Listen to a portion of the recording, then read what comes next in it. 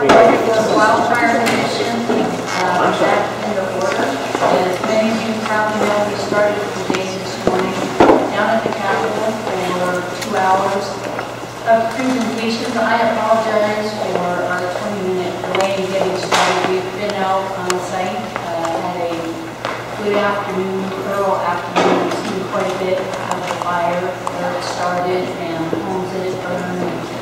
Really appreciate the fire chief well as those in the community who took the time to be with us and explain some of the um, non-economic impacts in the sense of what it's like to live in a community that's devastated by a catastrophic wildfire.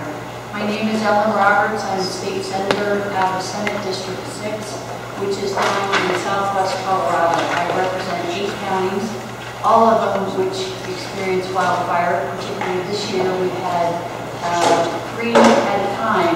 Um, So I I do personally understand, and I also live in the area, I live in the wildland urban interface, uh, and have unfortunately experienced as well the pre-evacuation, evacuation, and what it means when you get the phone call saying that what stuff do you take out of your house. Um, I have not lost my home, I have not lost a family member, and I understand that the depth of that is something I can't even uh, fathom, but I do, do want you to know that a number of us up here have experienced on a personal level, your legislators are citizen legislators, and so we are, uh, in our homes, in our communities, have often, getting the word that maybe this isn't close enough, thank you. Um, so uh, I did need to go through a few things, and I would like to give the other commission members an opportunity to introduce themselves to you as well. Um, But I wanted to make very clear what this commission is and what it is not. There's been some confusion out in the public and in the media. We are not here to uh, determine fault of the fire. That is not the charge of this commission. We also are not um, entitled to determine compensation. There's a different process that will be involved for claims, and we have someone here who will speak to you about that. But I think it's real important that you know what we are here for, which is laid out in the legislation. And specifically, it- I- I'll just read for you, the charge of our commission is to investigate, report our findings, and make recommendations for legislative or other action on all matters relating to the lower North Fork wildfire, including without limitation the causes of the wildfire, the impact on the affected community caused by the wildfire, the loss of life and financial devastation incurred by the community, the loss of confidence by the community in the response to the emergency by governmental bodies at all levels, and measures to prevent the occurrence of a similar tragedy. We are an interim committee. We are, two of us come from the House, two come from the Senate. We are bipartisan, and we're also joined by the Director of Public Safety, Jim Davis, who is part of the executive branch. We are um, allowed to present to the legislature when we reconvene in January certain interim committee bills, a number uh, that is specified by statute for all interim committees. We may or may not uh, use all the number that were allotted, but one of the reasons we wanted to come out here was, one, to hear directly from you tonight, but also to try and get some ideas of where have things gone wrong, uh, what happened in this circumstance that if we did a better job at the state, whether it be legislative or regulatorily, what could be done that would help focusing on that part of the statute that says measures to prevent the occurrence of a similar tragedy.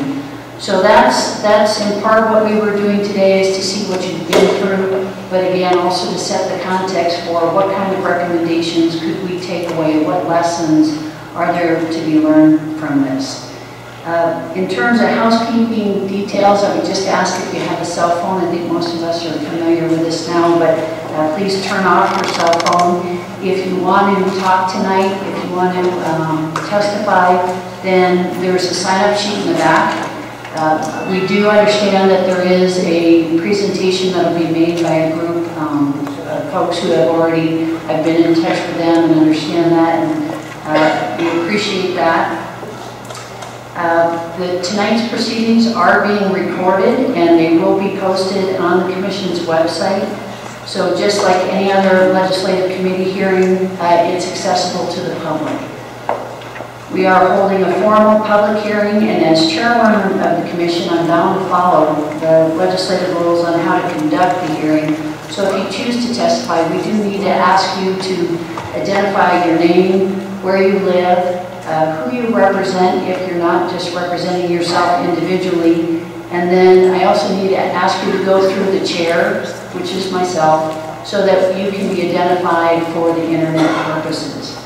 Um, We will do everything we can to be fair in terms of time. Again, we were allotted approximately two hours for the presentation and testimony. If it turns out that you need more, if there's more time needed, we are prepared to stay here uh, for as long as it takes, although we would ask that you perhaps don't repeat things. I definitely need to ask you that as highly emotional and controversial as this is, that we be respectful, and both of the members of the commission and us to you as well, but for everybody who's been involved in this in all aspects.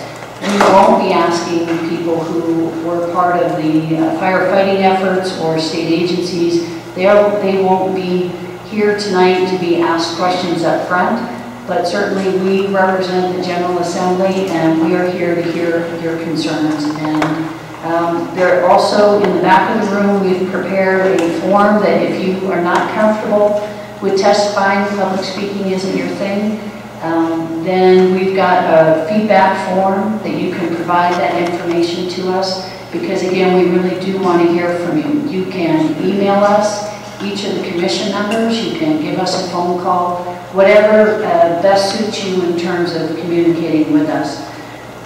We do know that this is going to be likely a difficult night for everybody who's here. Uh, We want you to be as comfortable as possible. We do have water uh, to provide to you. Um, And if you're speaking and you feel like you need a break and you want to regain your composure, just let us know that because we're happy to, to take a pause. We are at the Capitol, unfortunately, a number of times, we're dealing with folks who've been through very difficult times. So uh, this this will be something to some degree that we're experienced in, although again, we will never understand exactly what you've been through. With that, I would like to um, point out the fact that there are lawsuits in the works, and um, it is important that, that again, you understand that when you testify tonight, it is public, it's public record, so there's nothing that we can do in terms of comments that you might make here today that is out in the public domain. That's not meant to in any way discourage you from talking. It's just we want to be very clear that this is um, a public hearing. I will, uh, at this point, turn to our Deputy Attorney General, David Blake, who is going to talk to you about the claims process, which again is the different procedure that if you had damages, um, that what you would need to go through to alert them that you have a claim. So, uh, Mr. Blake.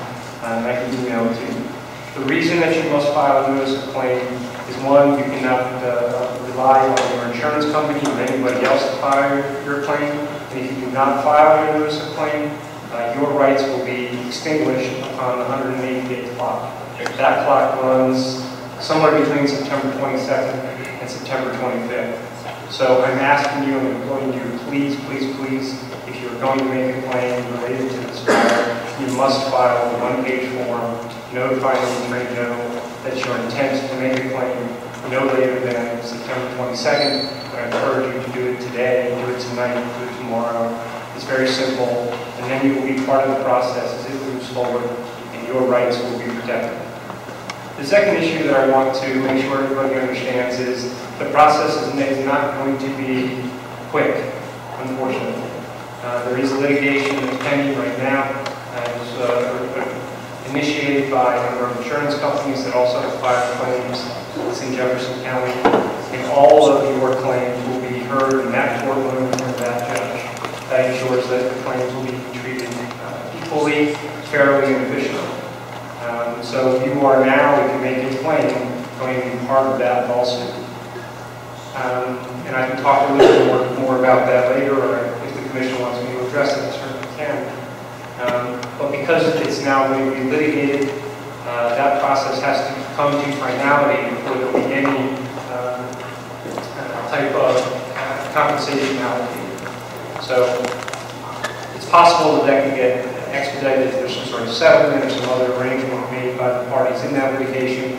Um, But the bottom line is, I want everybody to understand that as you make decisions about how you move forward, um, that there will not be, for example, any compensation if it's allocated uh, that will be forthcoming anytime in the near future. Um, To touch just briefly on the lawsuit, again, it was brought by a number of insurance companies originally. Uh, We have responded to that, an interplay uh, that has brought other claimants into that lawsuit, at least those persons who have already filed claims. That's some of them. The last time I checked, we had approximately 50 claims total, and most of those were insurance companies. So I know that many of the people in this room have not filed claims. Again, you must file a claim or your rights will not be protected as the litigation moves. The other reason that that's extraordinarily important is process set up by House Bill 1361, which creates the additional process to go in front of the claims board, uh, triggers only off of that lawsuit. So if you don't have a claim in front of the judge, in Jefferson County, you won't be able to pursue uh, a presentation to the board and the, uh, the new authorities under uh, 1361. I think that's probably all I want to address at this point. I think I'll wait and listen to everybody's uh, presentations and then back up and try and answer any questions that may come up at that point. But again, I want to reiterate the point that you must file a notice of claim by September 22nd or you essentially waive your rights. Madam Chair. Thank you. We have a question from. Um, Mr. Blake, thank you very much. I appreciate you being here. Um, Based on, I was approached by my constituents regarding House Bill 1361, and I think it it may just need a little bit of further uh, explanation. There's some confusion between the interaction between uh, House Bill 1361 and the lawsuits that you mentioned. What they asked me to read is, given the legislation that was passed on, in House Bill 1361, why isn't the Claims Board reviewing the individual claims of the victims and making their recommendation for compensation to the victims as was the intent of the legislation? Further, it was the intent of the bill that if the victims did not accept the board's recommendation, they would then pursue their own litigation. Their question is, why are you circumventing the intent of the lit- litigation and doing it backwards? Uh, Madam Chair? Uh, Yes, Mr. Blake. Uh, Thank you, Representative Gerou, for the question. Um, I don't want to speak to the intent of the legislation. Um, The the- the law, though, is clear. What the legislation did was modify Colorado Governmental Immunity Act in a way that, we backed up. Prior to the legislation, um, the Governmental Immunity Act did not recognize fires. Government started alleged negligent fires. So there was no opportunity for any claim to be brought against the state because the state was immune. What 1361 did was retroactively waive the immunity that the state could insert. That created the opportunity for people in this room, as well as others affected by the fire, to bring a claim against the state. It- In addition to that, created an opportunity for the claims board to review claims at some point after the $600,000 cap was exhausted, and only if the maximum amount for any incident, $600,000 in this case, was completely allocated. The process that you're speaking about would in fact be the process we would follow, except for the fact that we now have litigation over uh. That is, we have multiple claimants, all claiming different amounts of money, and so that litigation now has to run its course to finality before the $600,000 is allocated. And the board can't hear any claims until the court decides uh, not only negligence, but how it's going to allocate the $600,000. So the board can't consider monies above and beyond the $600,000 until the court rules. Did I answer your question? Representative Gerou. Uh, Thank you, Senator Roberts. Um, You know, I think, David, I, I think we're getting there. I think what, what they're concerned about, and, and I think that the statement was rather definite about their concerns. Um, When you said this morning that it was going to take a long time to settle this lawsuit, what they're concerned about was the intent of House Bill 1361 was to try to find a shorter path for some type of conclusion and some type of, of, of um, resolution for them. And what they're concerned about is that short time path of 1361, because of these lawsuits, has now um, been lost, and that this, basically, if I'm interpreting what they're thinking, is they're thinking that 1361 now doesn't matter so much, and, and, and we both know that as far as caps, it very much does, but they were looking for a shorter resolution. That was part of the intent of the legislation. So, um, and, and their concern was this morning when they said it's going to be a long time before that's resolved. Uh, Can you explain a little bit what you're thinking in that? Madam Chair? Mr. Blake. Uh, Thank you, Representative Gerou. Um, I I, again, don't want to speak to whether or not it was the legislative intent to make a shorter path. What I certainly would agree to is that the legislative intent was to create a path at all. In other words, prior to 1361, there was no path whatsoever to bring a claim against the state if negligence was shown, because the state was immune for this type of negligence if it were proved.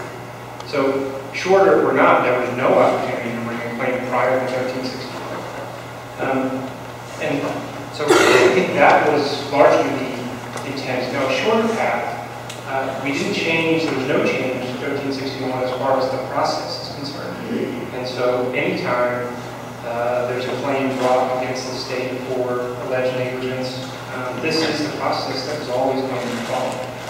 There was none of the process under the Governmental Immunity Act was ever touched by the act. So the, uh, the new authority given to the board to consider claims above and beyond and make a recommendation to the General Assembly that was a new authority, but it always triggered after uh, the original governmental immunity cap was exhausted.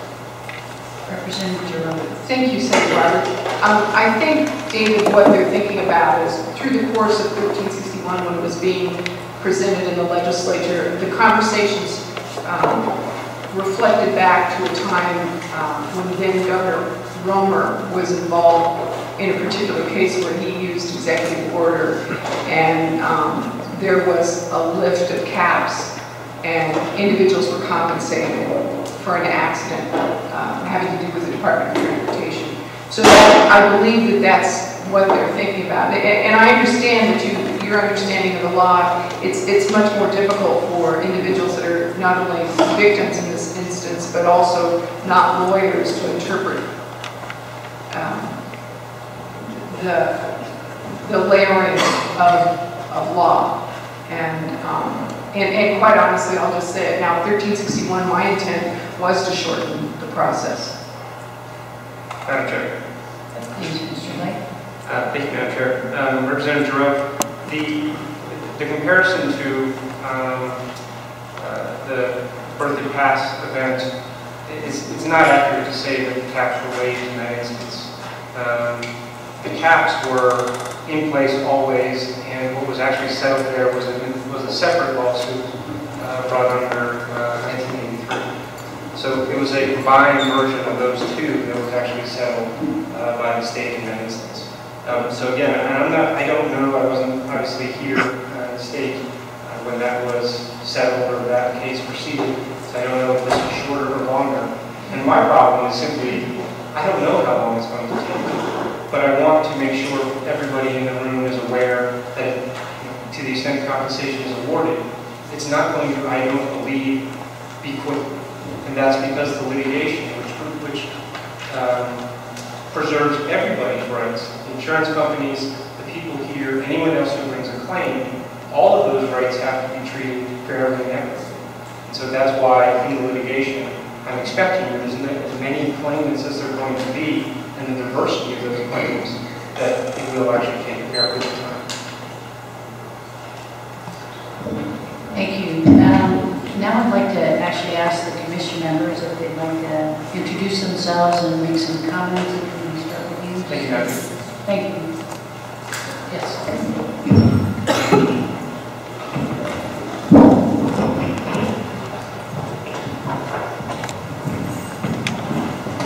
I'm Jeannie Nicholson. I'm a state senator along with uh, Senator Roberts. And in January of 2013, I will represent this area um, because it will be included in my new district because of reapportionment. And I think it's one of the reasons that I was um, asked to serve on the committee, but also because included in my current district uh, was the Four Mile Canyon Fire event and gave me some background from that experience with the residents in that community of some of the issues that this community is dealing with now. My, uh, I was also the uh, Senate sponsor along with Senator Cadman on 1361, and it was my intent to create a process for those claims that didn't exist before. And I'm very happy to be here tonight because I think, uh, along I think with the rest of the commissioners, that the most important work that we have to do is to learn any lessons from the experience of your community so that we can do our very best um, to prevent this from happening anywhere else in the state in the future.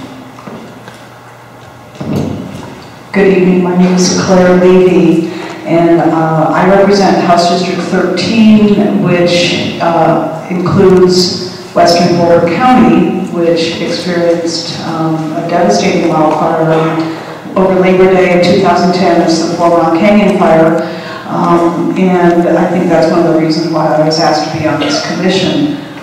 I, it's my intent actually to keep my comments and my remarks and questions to a minimum tonight. This is your night uh, to talk to us Um, We have, as the chair mentioned, toured uh, a bit of the burn area. We've by no means seen everything, but um, for me, I want to tell you that, you know, as with many situations like this, seeing it has told me, I've learned so much more than I could learn sitting in a room at the Capitol, uh, looking at slides and hearing testimony. So, so uh, we apologize for starting somewhat late, but I think it was well worth our while to actually see the area.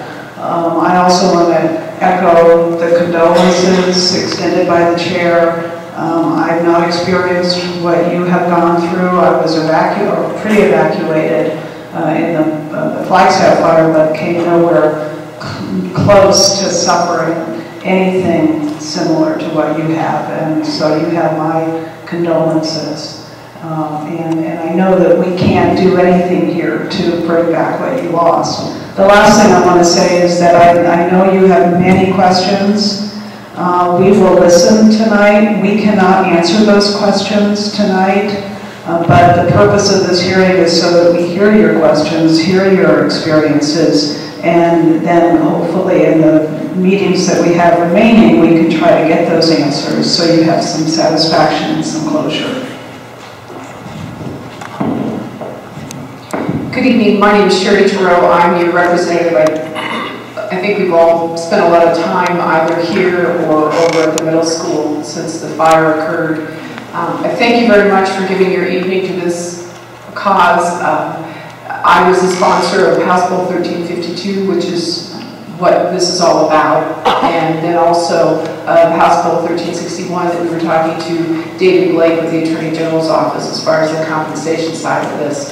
Um, I, I appreciate the fact that um, we all live up here, we mitigate, we mitigate, we take care of the properties that we own.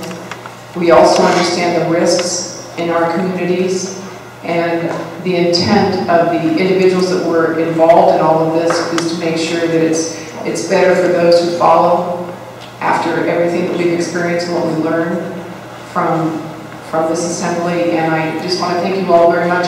If you decide that you don't want to testify, as as Senator Roberts said, we're always more than willing to um, take your information later. I know there was a gentleman that forwarded some questions to me, which I'll be asking of the agencies further into the process when they're before us, but um, if you think of something tomorrow night, if you think, think of something tonight before you go to bed, just write it down, send it to us, and we're more than happy to get the information for you. Thank you.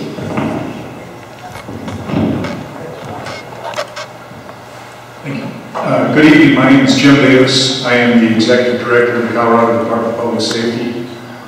Uh, House Bill 1283, which was passed by the legislature and signed by the governor at the end of uh, this past legislative session, transferred wildfire, uh, the state's responsibility for wildfire mitigation response to the Department of Public Safety. So that's now within our department. Uh, We are, we are working on that transition. And we are here to, uh, to learn what we can, uh, to, uh, to make sure that, that- that we provide uh, good service to the residents of Colorado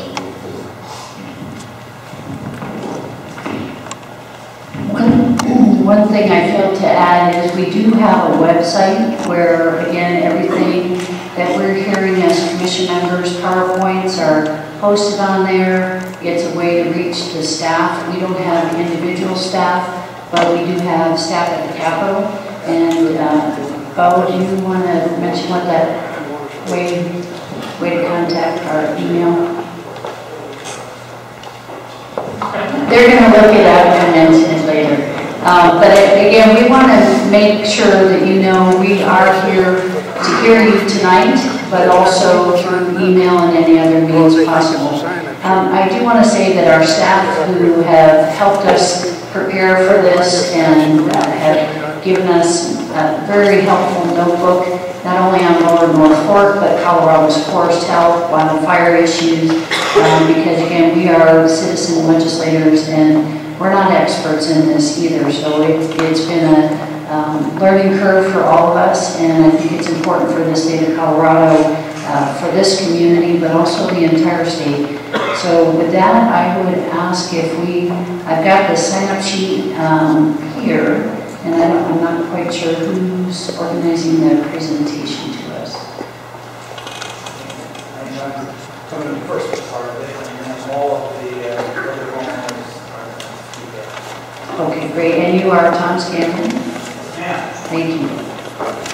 Um, actually, we set the room up so that there were chairs reserved for you all, so you can see the presentation. I know we have to provide you a copy afterwards, and we will do that. So if you, if you'd like to go there, or if you want to turn around, whichever is more comfortable for you.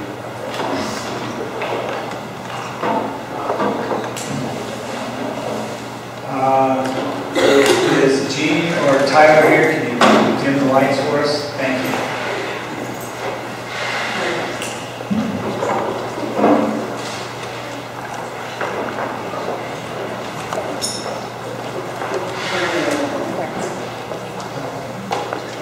Let's see. um, We asked we introduce ourselves. As you know, I'm Tom Scanlan. I was a homeowner. Our house burned in the fire. Uh, So where are we living? I guess I'm homeless. Uh, Actually, we're sort of in rental Concord. Um, I am kind of talking dog here tonight. Uh, What we're going to present is a compilation of the thoughts of many of the homeowners that uh, that lost everything in the fire and those who who were dramatically impacted by it. Um, And and I'm hoping if I don't adequately convey that, that you'll either step up as we're having the discussion uh, or uh, or you, or do it during your testimony. Um, I'm not a public speaker. I wish I had known that I could have filled out a form and just handed it to you. But, uh, but I guess I got volunteered. Um, There are, there are a couple of other people that I'd like to introduce because they will probably need to step forward uh, during this presentation uh, because they helped us put it together. Uh, The first is Roy Johnson. I think you've met Roy already. Roy is a, uh, is a lieutenant in the Denver Fire Department. He is also has a red card, a red certificate, red card, which means he can be called battle wildfires. So he, uh, although the rest of us are not experienced in the wildfire business, Roy most definitely is. Second is Mr. Jack Ogg. Jack is a, uh, is a uh, pilot, uh, former military aviator, and a program manager. Um, As we go through this presentation, although Roy is our only expertise in firing, in fire uh, uh, fighting, rest of us represented have literally hundreds of years of management expertise working in high-risk uh, activities. And uh, and Jack and I are, are some of the people that have that. Um, Finally, I'd like to introduce Mr. Jim Fildey. Jim is a uh, realtor who lived up on the mountain, lives up on the mountain with us. Uh, Jim has done a lot of work talking to appraisers, reclamation experts, and uh, um, uh, foresters about the removal of debris and what, and what we do about that. And part of what I understand you all want to talk about is the, the financial impact to us, uh, and, and Jim will be able to do that. So, I guess the first thing I'd like to do is, is thank you all. Uh, I know this is taking a lot of your time. I know Senator Roberts had to fly up here last night to be able to be, to be at this uh, hearing uh, from her home down in southern Colorado. Uh, We especially like to thank Cheri Gerou, who has been our advocate through this entire thing. But there's a couple other people, there are a number of other people that we just absolutely have to thank. Uh, The first is the Mountain Resource Center. Without the Mountain Resource Center, we wouldn't have known what to do. They've been there for us throughout this entire ordeal. And they were the ones who were first on the scene with all of the other volunteers when we came to this, uh, this location because we had no homes and we were forced to evacuate. Uh, They were outstanding, as were the other volunteers and all of the people in the mountain community. Um, There have been fundraisers to help us out. There have been uh, offers of help uh, to come up to the mountain understand what, uh, what we're going through and the trauma we have. But I, but I think most of all, I, I want to make sure that what we're about to talk about here addresses not uh, the outstanding heroes that we have in the fire departments that responded, nor the police departments that responded. They are our heroes. They, they've always been there to help us whenever there's been a natural disaster and, uh, and even in this horrific mistake. So, so nothing we're going to say is, is meant to denigrate their outstanding service to this community. Uh, and I think I have a button if it works. So, the first thing you asked was how can we prevent this tragedy from occurring to our neighbors? And that's what we have tried really hard to address in this entire presentation. Not to point fingers at, at anyone or anything, but specifically to address the kinds of things that are necessary to ensure this never happens again. Um, I would like to point out, uh, this is our home, or was our home, and I heard people talking about the lack of mitigation uh, and the kinds of things that were necessary that hadn't been done. As you can see, we prepared an entire meadow in front of our house so that we wouldn't have fire, uh, potential fire problems with the house. And you can also see that the house was constructed out of concrete. It also used the highest uh, rated fire protective shingles and decking to prevent this kind of disaster. And you can see what happened.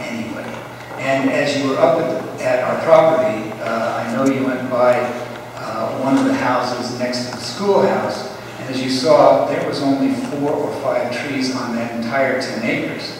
There's nothing that was able to be done to mitigate for that type of disaster, and we're going to talk, therefore, about what needed to be done to prevent this, disaster in the first place.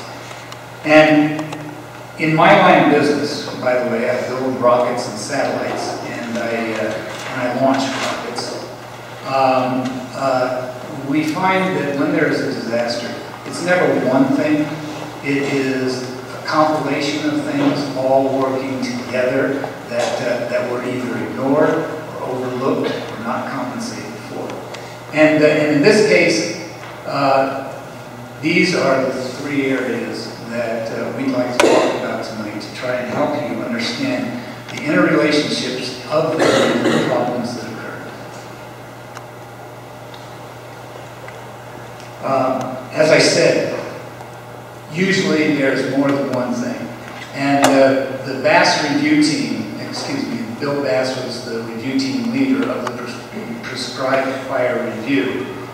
Um, although the, the documentation for that reflected that there were a number of problems that were encountered. In fact, many of the things we'll talk to you about tonight were extracted from that report.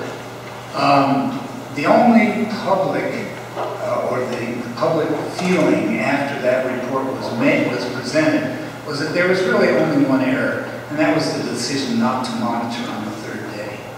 Uh, that is a completely erroneous perception to have, and we're hoping to be able to show you what the other things that were, uh, that happened that could have prevented this fire and hopefully will prevent any others in the future. Um, also, before we start, I guess I'd like to uh, reflect on what it takes if we as private citizens uh, are going to uh, are going to have a prescribed fire.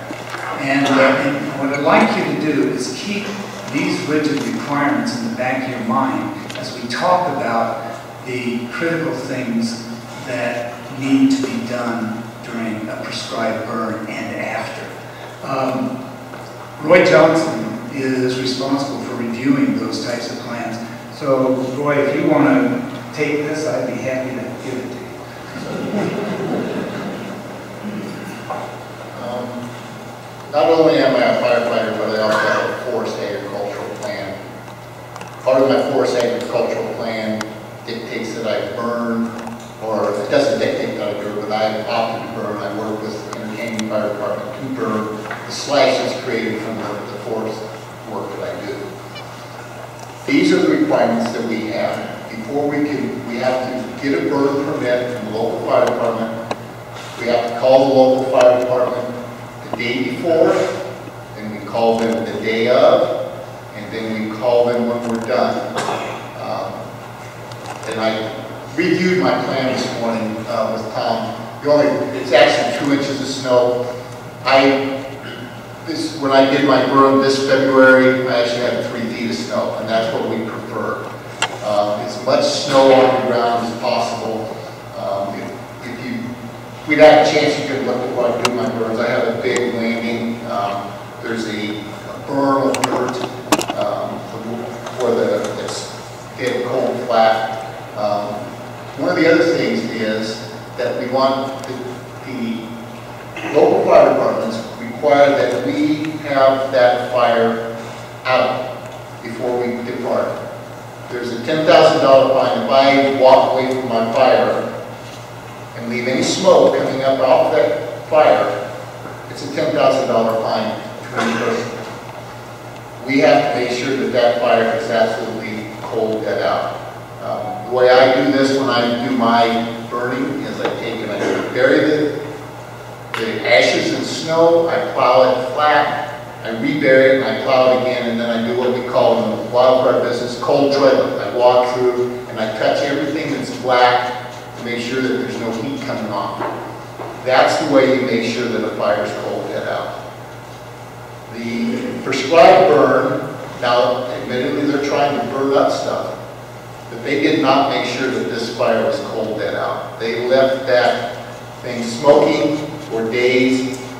Not only did they leave it smoking, they thought in their minds that it was okay to just drive away for approximately two days. 44 hours, four hours short of two complete days, nobody looking at it. Um, There was a period of time in there where citizens, concerned citizens, made 911 calls for smoke in the area on the Saturday after the Service people had left.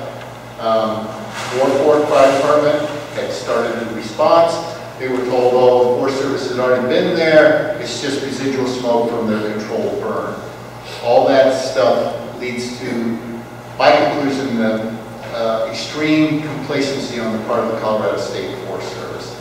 Uh, I think that's all we need. I think we beat this subject to death. I'll return the mic to Tom, and I think we can continue on. Actually. Roy uh, just gave the rest of my presentation. So this should go a lot faster. Um, This is a, this is a uh, Google map uh, depiction of the topography. You already saw it today. Um, You were down here in the burn area.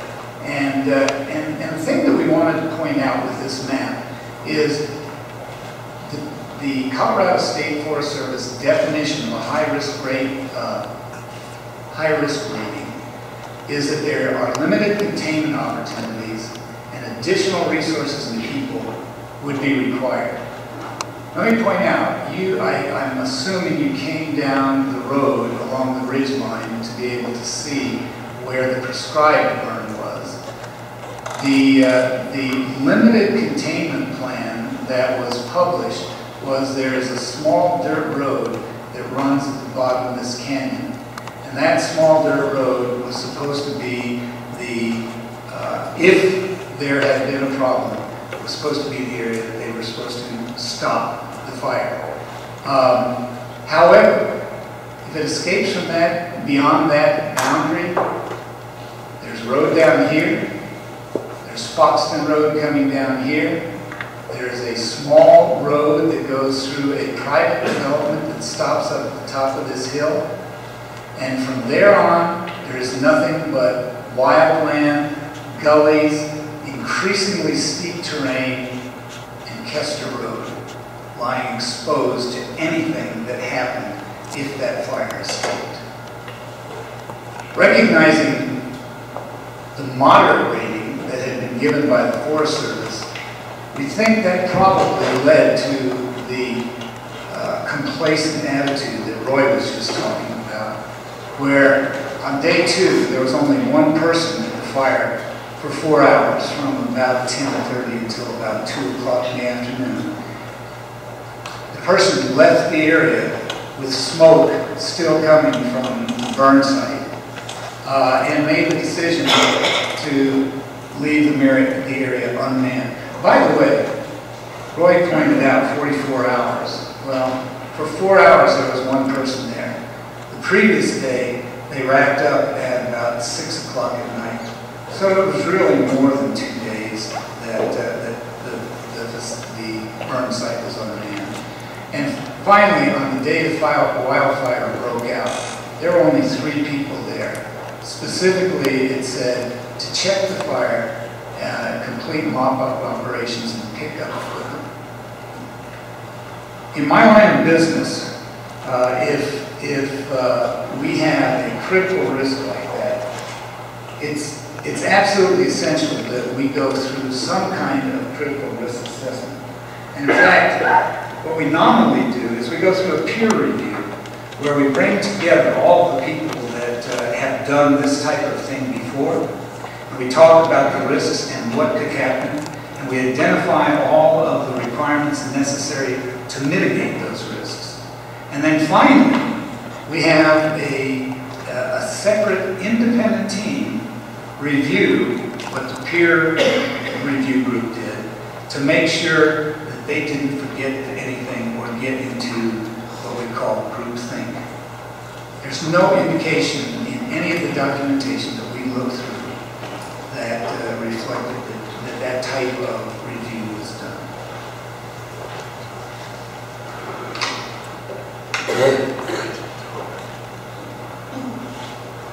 So I talked about Kuehster Road. Unfortunately, you can't see it very well, but these are the homes that burned. So there were a lot more homes there. And oh, by the way, beyond that was an entire uh, community of homes and more homes to the north.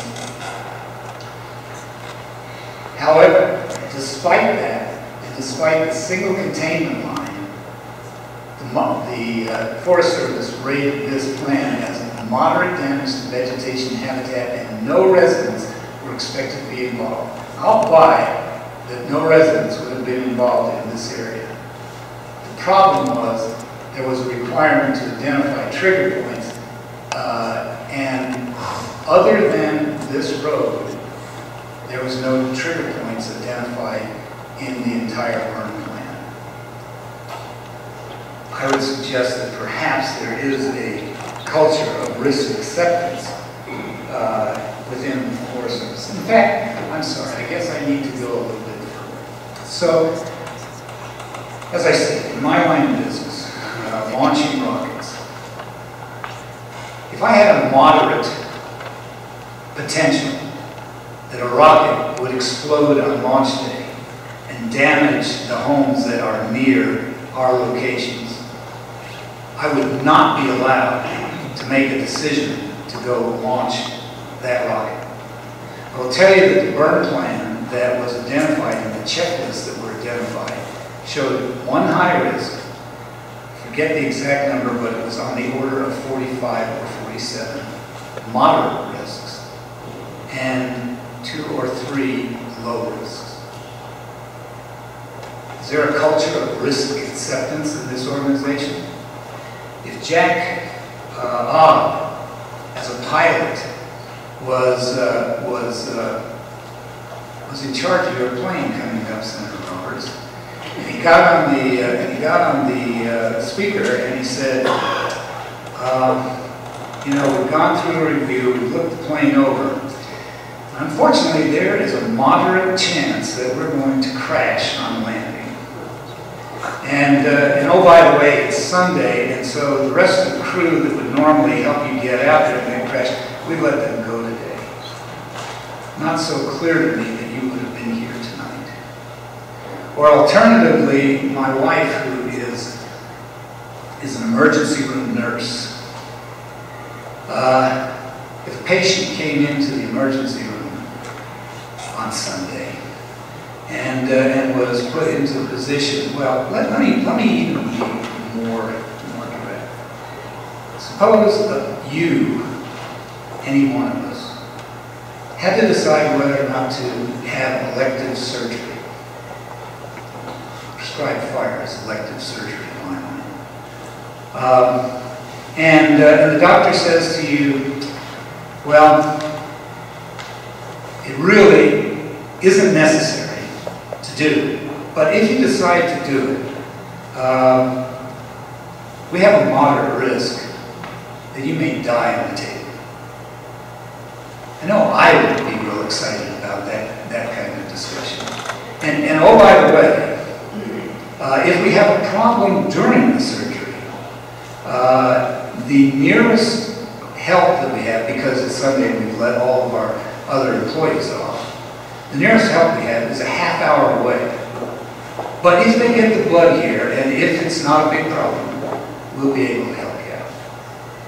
I'm sorry, uh, I, I realize I'm not supposed to be emotional, but, but I, I wanted to put it into perspective, what we were facing and what we got here.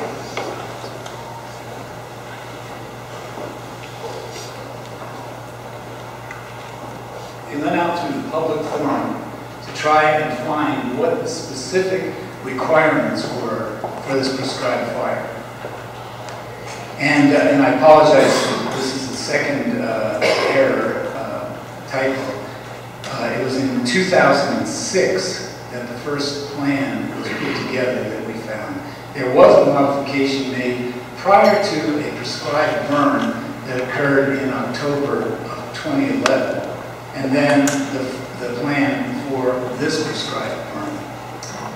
And, uh, and after going through those burns, which we got through open source, I mean those burn plans, which we got through open sources, we found that there, well, we couldn't find any significant difference in any of the three burn plans, despite the fact that in October of 2011, there was a prescribed burn that was being planned. They had gone up and done uh, what I, they probably explained to you as blacklining for that prescribed burn. And, uh, and depending on what document you look at, one or two days later, after just doing the blacklining, not the prescribed burn, a, uh, another fire ignited, a spot fire, and the local fire department had to be called in to put that fire out. Well, it turns out that, that where that uh, black line escape occurred is exactly the same area that the, uh, that the uh, escape occurred in our fire. And, and more importantly, as I said in my line of business, it would have been mandatory that after this problem occurred, I would have updated my plan to identify contingencies to be able to figure out what we're going to do if uh, another escape occurred. And I'm going to read you some stuff here in a couple of minutes that talk about what contingencies were in that burn plan. I'm going to read you out of the burn plan so you understand. Uh, but most important to us is not only the problem resulting from that, but when we start talking about weather, I'd also like you to remember how critical it to have incorporated the predicted weather that was about to occur.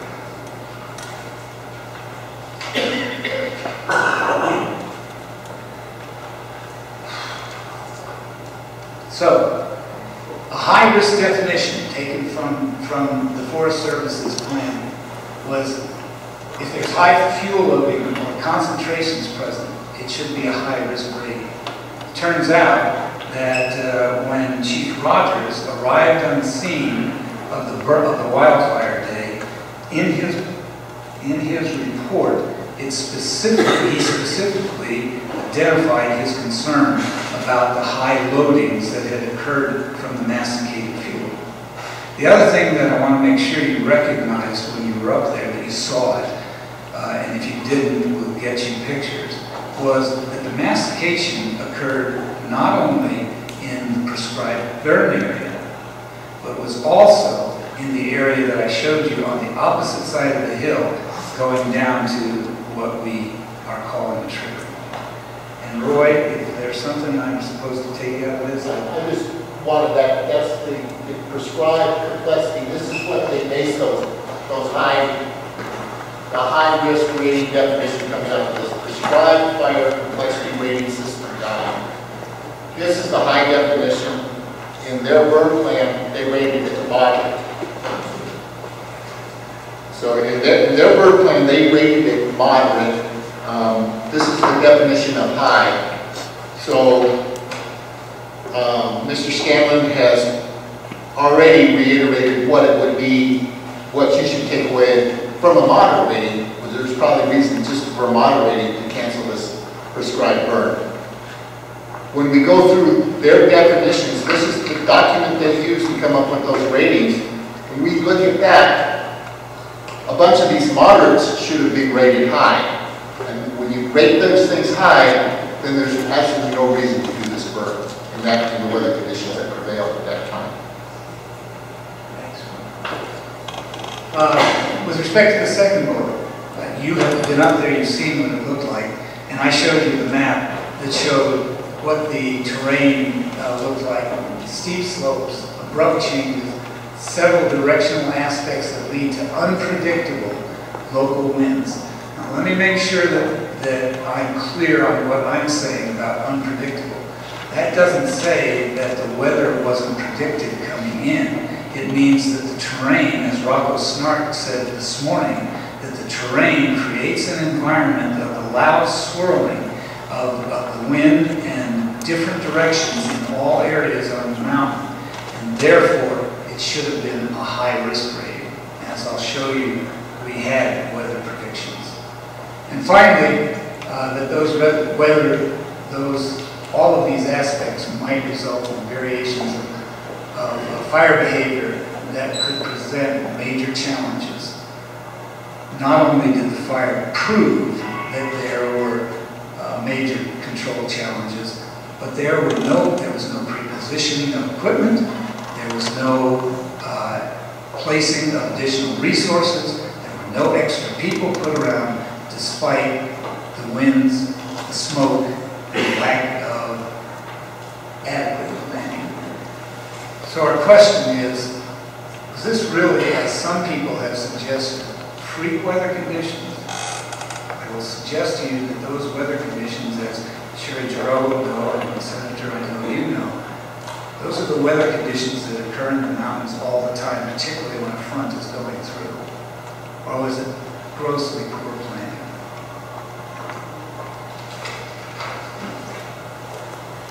So now we've got a problem. This, I wanted to read a couple of things, and I think I can do it even in this dim light.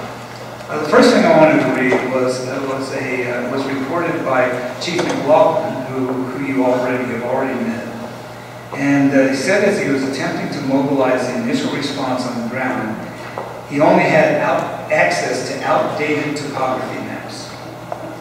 So when we look at those maps, we don't know where homes are, and we don't know where roads are, and in a lot of cases that have gone on since, last time these maps were updated, which was in 1994. Um, he further went on to say, uh, when he was asked about the burn plan, he said, I haven't looked at the burn plan at all because that wasn't provided to us prior to them going in and starting the burn.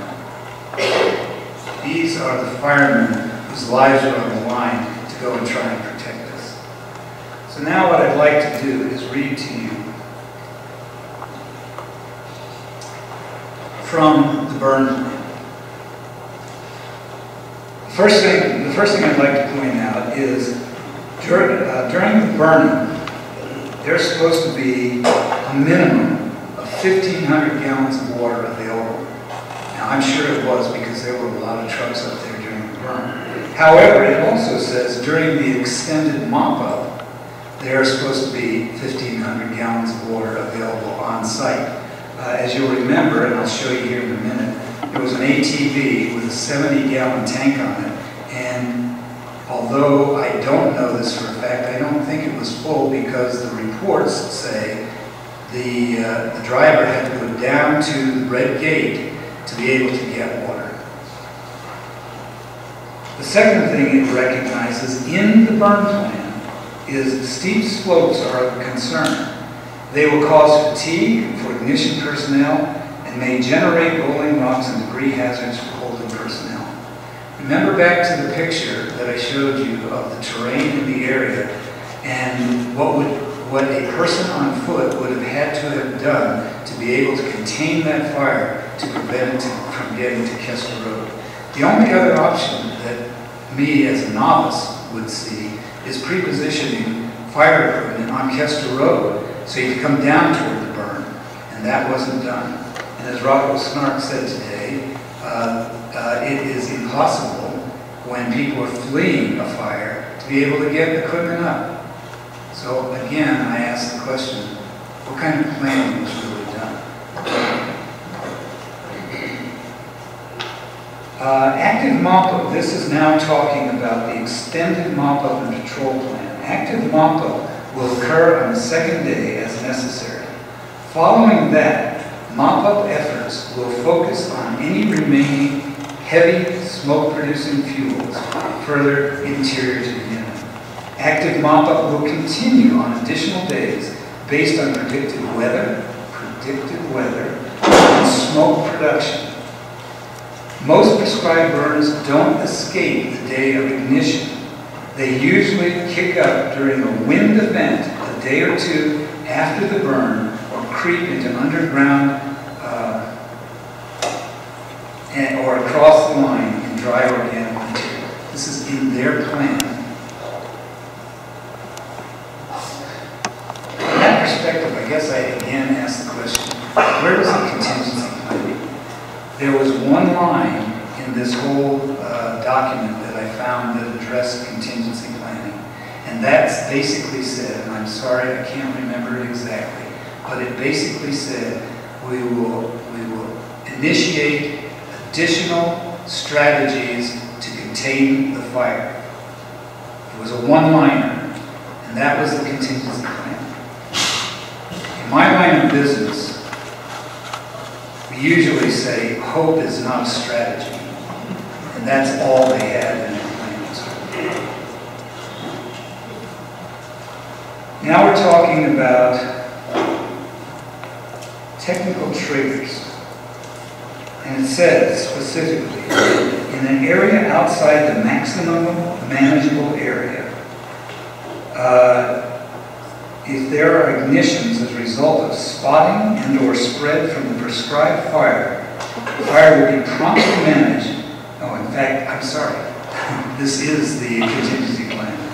Uh, the, uh, fire will be promptly managed with appropriate strategies and resources. You go down to the bottom. In the event slopovers uh, and or spot fires are more than what can be adequately managed on-site personnel prior to the next burn period, the prescribed fire will be declared a wildfire. And it wasn't even therefore down at the bottom. It was when we had the slop over that it should have been declared. Now, I want to make sure that I, I'm not leading you down a path. This is for the day of the prescribed burn. But there's nothing in there about what happens during the mop-up. And so I would, I would like to suggest that the planning was inadequate for contingency planning since it didn't even address those minimum requirements. Finally, I'm talking about the, I think I'm,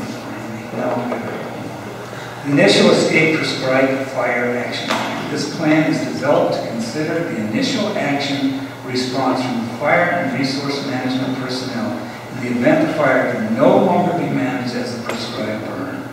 The events or conditions which lead the prescribed fire's command staff to make this determination in addition to an obvious escape outside the MMA, the managed area, are called trigger points and must be identified.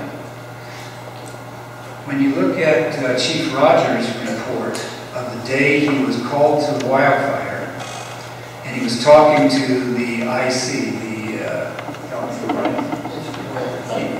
the, incident commander, incident commander, um, uh, the first thing in his statement said, we need to establish trigger points. There were no trigger points that had been identified, at least to him. And, uh, and the incident commander had agreed that, yeah, we need to do that. And more importantly, they said it was going to be down at the bottom of the road, or or that road that I showed you in the gully. You heard Robert Snark talk this morning about the problem of being down in a gully and what happens in a fire as it goes whipping down a mountain and creates convection and creates a, an unmanageable situation. In fact, another report uh, of a crew that had gone up to help contain the fire on the south side said when they got there, they could not go in because of the risk to themselves in that south area.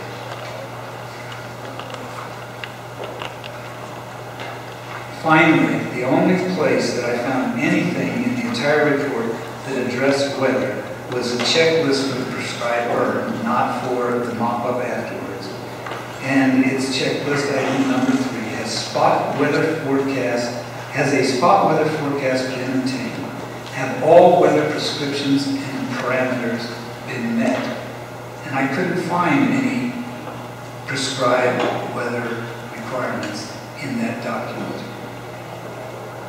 Finally, this morning, as we listened to the uh, gentleman from the Nature Conservancy, uh, he made a statement that said we need to keep prescribed burns as a tool.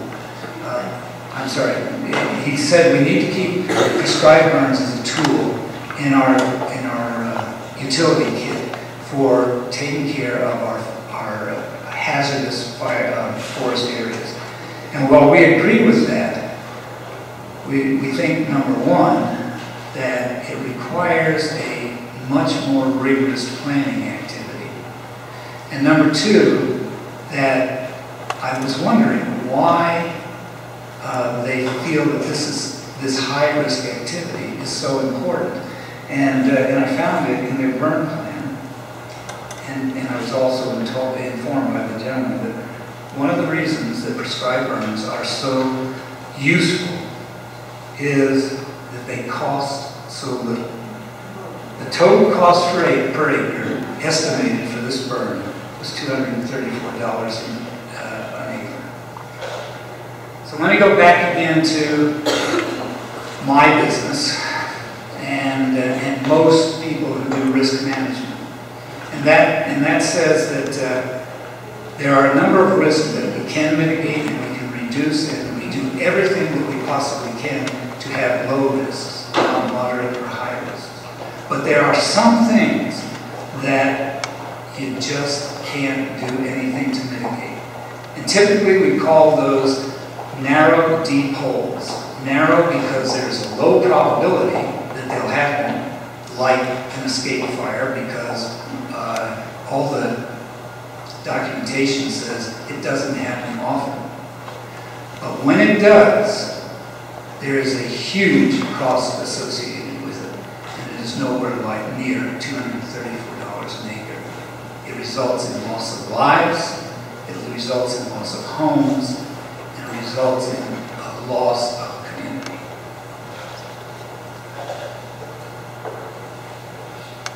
How did I get here? Um, so, you all understand, I think, what mastication is. I don't even think I need to go into that any further.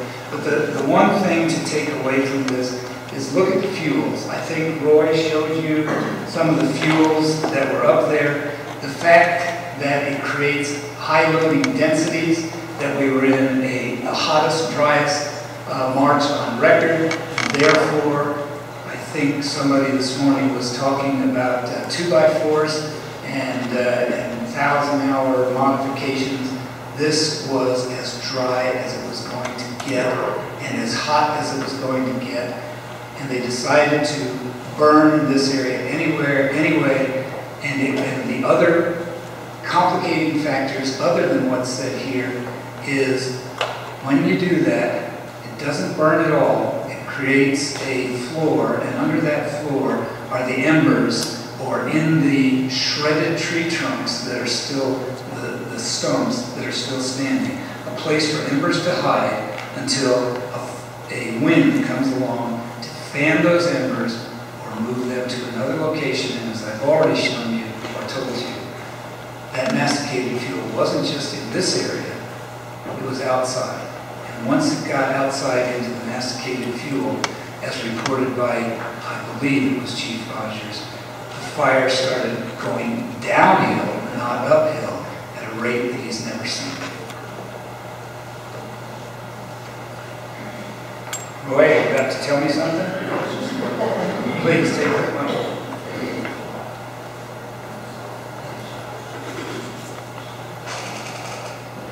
These are some of, these are some of the masticated fuels that we picked up from the site today. These are, these are some of the masticated fuels. The Point I'd like to point out is how there's little pockets inside these pieces of wood. These are close to the ground, so they don't carry a lot of heat right away. But an ember can get in there and sit there and smolder for days. Um, I think Mr. Fildey had some stumps on his property which weren't masticated, that after the snow, after the fire was out, was it 12 days, Jim? 12 days later, he noticed smoke coming out of one of the stumps on his property. Um, a response from the local fire department, the Inter-Canyon Fire Department, they came up and they spent several hours digging out that stump to make sure that there's no heat left in there. So you've got a, a, a ground area covered with this sort of stuff, with embers potentially buried in each one of these, waiting for a wind event, which the wind event is not, it's rare, but it's not unprecedented. Anybody that's lived there for any period of time can tell you that six to ten times a year we'll get winds in that, of, of that nature. So it's something that in your contingency plans, you should consider. So, and today on the, on the ground, it was brought out that the behavior of fuel, or the behavior of fire in masticated fuels is an unknown quantity. So why are we doing an experiment with an unknown quantity in the hottest, driest March on record in Colorado? Okay. And now I have this black pile of stuff up here. And I can't see my notes. So, so please bear with me. So now we're going to talk about the monitoring activities. This is the weather report that was issued on the 21st of March. It was valid through the 26th of March. And as you'll notice on the, on the weather report, the area where our community is, is right in the very driest area, the area of the prescribed burn. In addition, it was also in the most extreme uh, fire risk. You remember smoking the Bear and, oh, I love you. Thank you. Actually, I think, actually, I think I've read everything, so rather than waste your battery.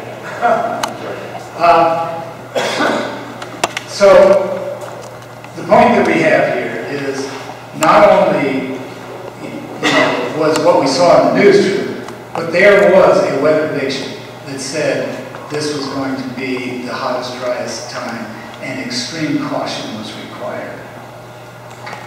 Um, Jack, do you want to add anything on what Jack read through all of the weather uh, reports that had occurred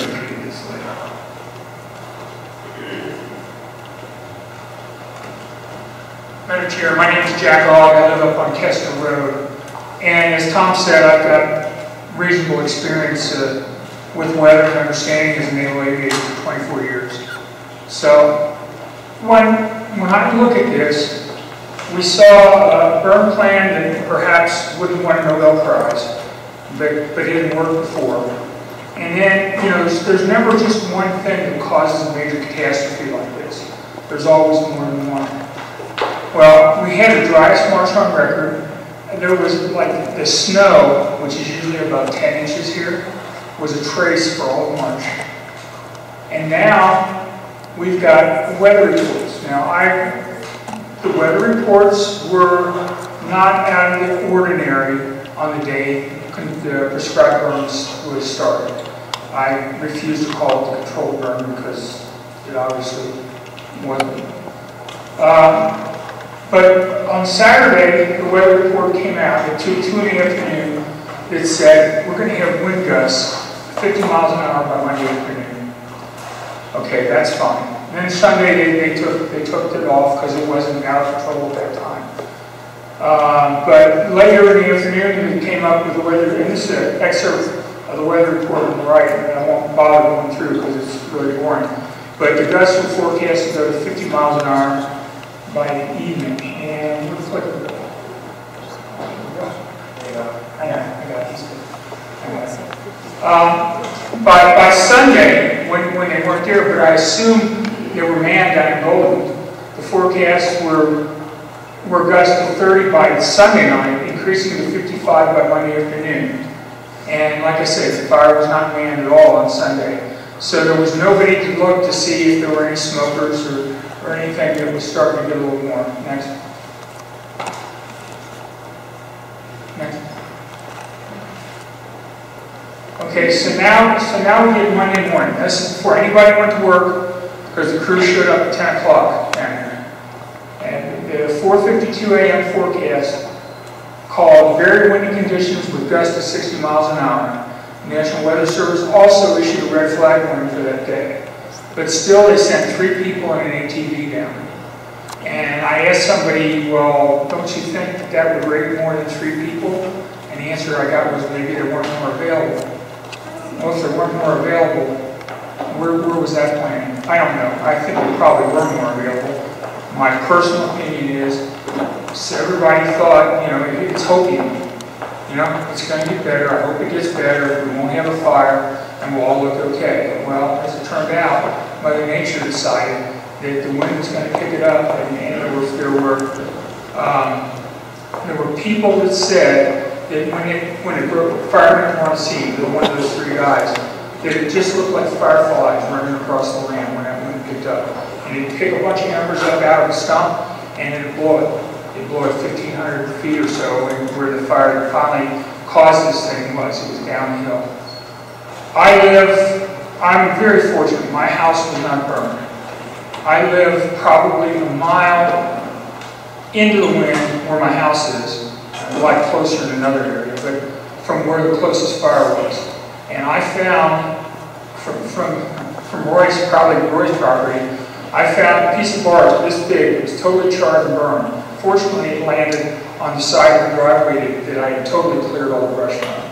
If it had landed on the other, it would, it would burn.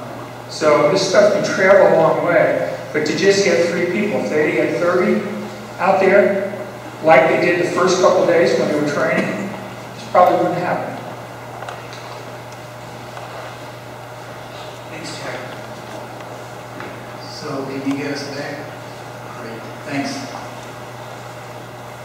So this is Saturday, the day Jack was talking about the weather's, the weather predictions were already beginning to uh, show increases.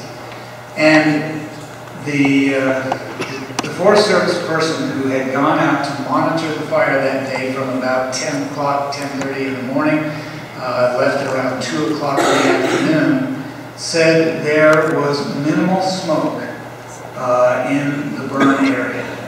Well, this is from uh, the picture taken from up near Kuehster Road. It's about two miles away. This is what the controlled burn looked like to us when it was going. And it most certainly isn't a small amount of smoke in an area.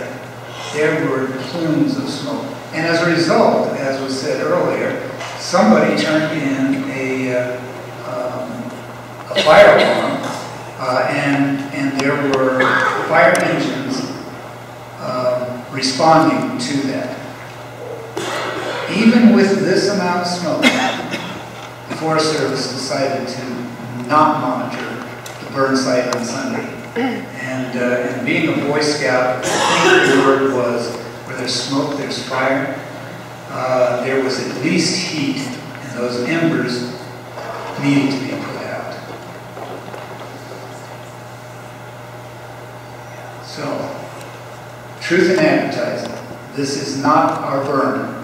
However, this is the kind of equipment that was there on Monday when the wildfire started uh, to be able to control the burn.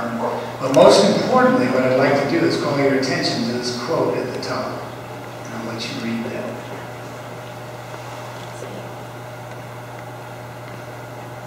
This is Chief Rogers again. And he was responding to that uh, call that I told you about. And the Forest Service told them to stand down despite the fact that there was as much smoke as I showed you and said, we've already been there and checked it out and it's not a problem. Fire was unmanned from then, we've talked about that. And Jack just showed you about the 50 mile an hour winds that were kicking up. And they still maintained three men to go in and, and mop up without any backup plan, any reasonable backup plan or resources. Shouldn't at a very minimum, shouldn't there have been some change to the plan for monitoring to increase our, uh, our uh, capabilities as opposed to decreasing them?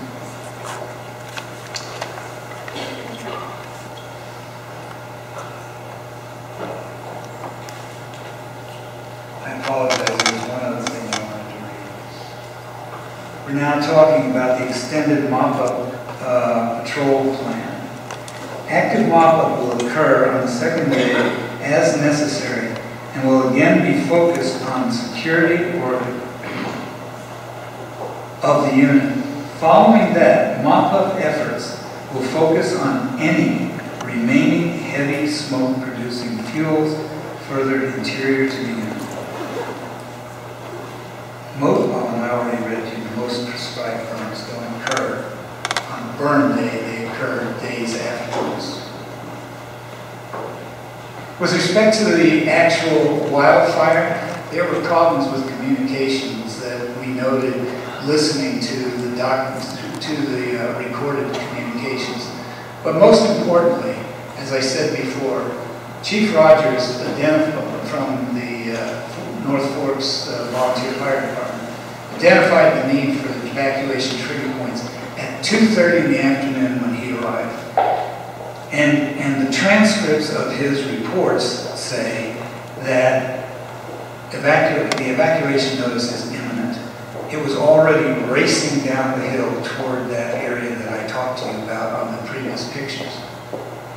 For some reason, there was no evacuation notice sent for more than two hours after those trigger points were identified and after it had already passed those trigger points based on Chief McLaughlin's testimony of what was there when he arrived. In addition, uh, because of the evacuation notice, the reverse 911 call went out. And, uh, we heard this morning that, uh, that those are uh, um, automatic, automated calls. Uh, however, many of those calls went to the wrong addresses, places all the way down in Morrison. And many more did not go to the residents up on the hill. In fact, although there were promises when, when my neighbors called in on, uh, to 911 asking what was going on, they, and, and they had been told it's just a prescribed burn as late as 3 o'clock. Um, uh, they were told that if anything changed, they would get a call back. Some of the neighbors that made those calls were the Lucases and Ann Appel. Now, again, in my business, if I'm going to do operate, if I'm going to have a critical emergency system necessary in case I have a problem, I have to do operational testing of that asset to make sure it works correctly. Obviously, it didn't work correctly. So as you're looking at what went wrong, A good question is, was operational testing done? And if it was, why didn't it identify these flaws so that this won't ever happen to some other community in the future?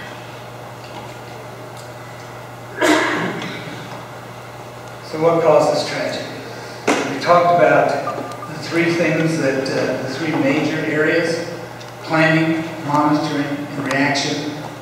We summarized for you what we think were the critical things that, uh, that were not taken care of in this. We pointed out that disasters don't usually occur as a result of one thing, it's a number of things. We're hoping that as you're delving into the details of what went wrong, uh, you'll be able to find the answers to the questions that we've tried to pose this evening. You also asked us to, or, or said you needed to address the financial impact to the community. We've had numerous appraisers come in and talk to us. We've had reclamation experts come in and talk to us. We've had uh, foresters come in and talk about tree removal costs. And uh, Jim Fildey has gone out and he's done his own review of Buffalo Creek Fire and the High Mountain Fire. And what we found is, from those experts and our own review, is that there's a range of what the impact is for the land devaluation. For properties like Jack Ogg's, where he didn't have an immediate uh, burning on his property, uh, it can be as low as 15%. They call it stigmatization. For those of us that uh, lost everything, like Scott Appel, who really lost everything, it can be as high as 75%. Reclamation costs to bring the land back to something like it used to be, although it will never be brought back to what it was. Uh, on normal uh, land with little slope, it's about 2,000 to $5,000 an acre, depending on the amount of burn that occurred. Uh, on the other hand, for properties like mine that happen to have some of the steepest slopes and were in the hottest part of the burn, they've told us that it's seven to twelve thousand dollars an acre. Uh, and finally, uh, Jim was able to get some estimates. Uh, the first estimate is really mine. And on the area where we need to remove trees so that uh, there is no safety risk to the people doing the demolition or the people hopefully rebuilding our house, it's about $130 per tree.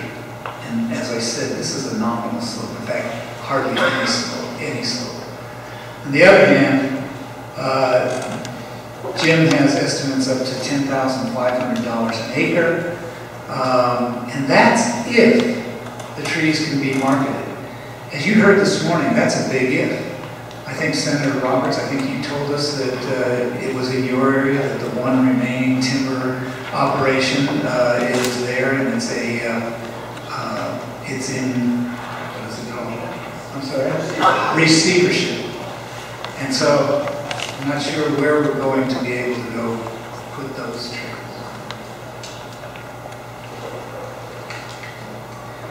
Finally, I'd like to talk for a moment, and this is not to take anything away from the horror that our neighbors have gone through in Waldo Canyon and the Hyde Park fire. But this is a different situation in what we've been faced with compared to what they've been faced with. In addition to the horror that they face, we are facing a situation where we've had to go to the state capitol, to the governor's office, giving testimony numerous times, again tonight, uh, to try and get the bureaucracy to step up to their responsibility for timely responsibility for what happened in a fire that was started by, uh, by the state, I should say the Forest Service because it's not the whole state. The Waldo Canyon fire occurred a month ago. The governor already requested and received FEMA funds for its victims. thank goodness. The Hyde Park fire occurred two months ago. The state is already spending funds to reseed and mitigate that area to prevent erosion and to restore the land. And we're in a situation where there's been no commitment victims despite the two bills that we heard tonight from the Attorney General. There's been no funding support offered to help us out in rebuilding our community. There's been no mitigation or reforestation support, despite the fact that when we talked to the governor, he said we ought to check with the, uh, the uh, state forest service and figure out what can be done with that. I guess our bottom line is, where's the accountability for what happened in the fire? And we just want to get on with our lives and stop going through this turmoil and, and have some help for something that we didn't cause so we can get back to the way we were. And I thank you for your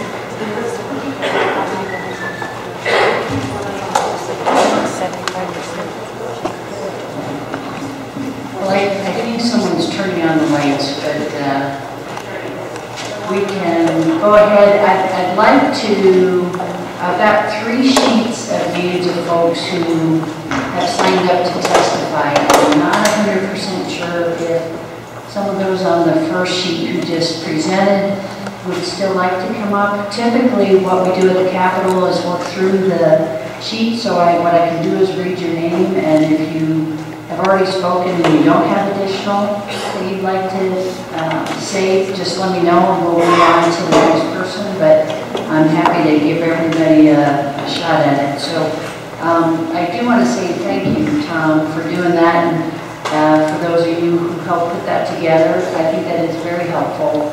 Um, It is also, it was very helpful to have been on site this afternoon because it it means a lot more to us having actually been out there.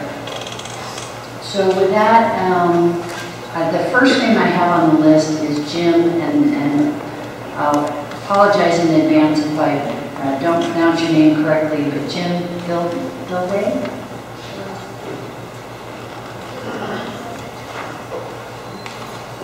Thank you for allowing me to speak here. Uh, Tom has gone over a lot of the research that we as a group did, and, uh, but uh, what I thought I'd like to talk to you a little bit about, uh, I, uh, first of all, my name is Jim Fildey, I live at 14121 Broadview Circle, uh, right next to Scott Appel. Uh, My, uh, majority of my property burnt, my home was saved. Uh, A lot of things were covered by that presentation, uh, but I just wanted to emphasize uh, in the area, the the winds are very unpre- unpredictable in the area. I bought my home or my property back in 1984, and over the years, I've picked up properties on, on multiple properties on the of me, uh, building sites, and uh, I've just noticed that the, the weather is very, very unpredictable up there. Uh, uh, For those that are familiar with the Boulder area, they- they probably understand that you can get very, very high winds in the Boulder area, and uh, why is it just in Boulder and not in other areas? And uh, I've talked to a lot of people regarding that, and they said, well, the weather system seemed to be funneled through certain canyons, and uh, some areas are just stronger than others. Well, this area is one of them. And uh, we get some strong winds coming through that area. And with the southern slope that we had and the dry conditions that we had, it was just a recipe for disaster if that fire was able to get away. Uh,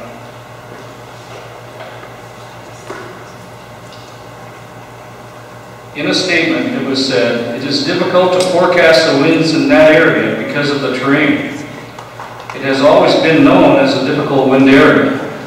That was not my statement, but I agree with it 100%. That came from Rocco Snart when he was being investigated uh, by the Jefferson County uh, Sheriff's Office. And uh, I'll read it again because it's really, really important to me that that uh, Snart, state, Snart stated, it is difficult to forecast the wind in the area because of the terrain. It has always been known as a difficult wind area.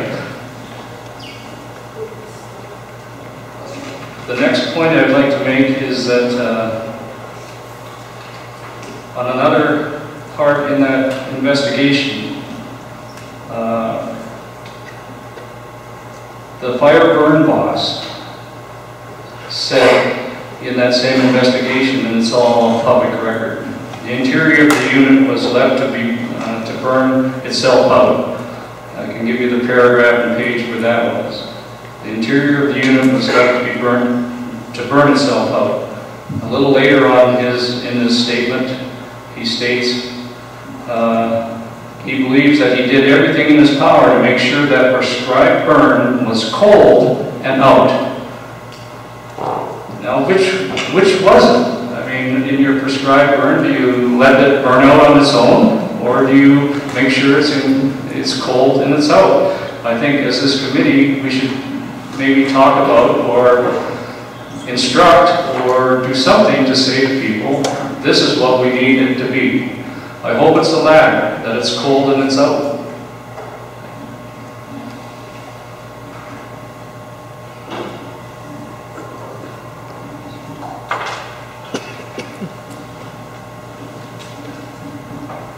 My last point, or near last point, was at what point does a controlled burn swap over become an out of control forest fire?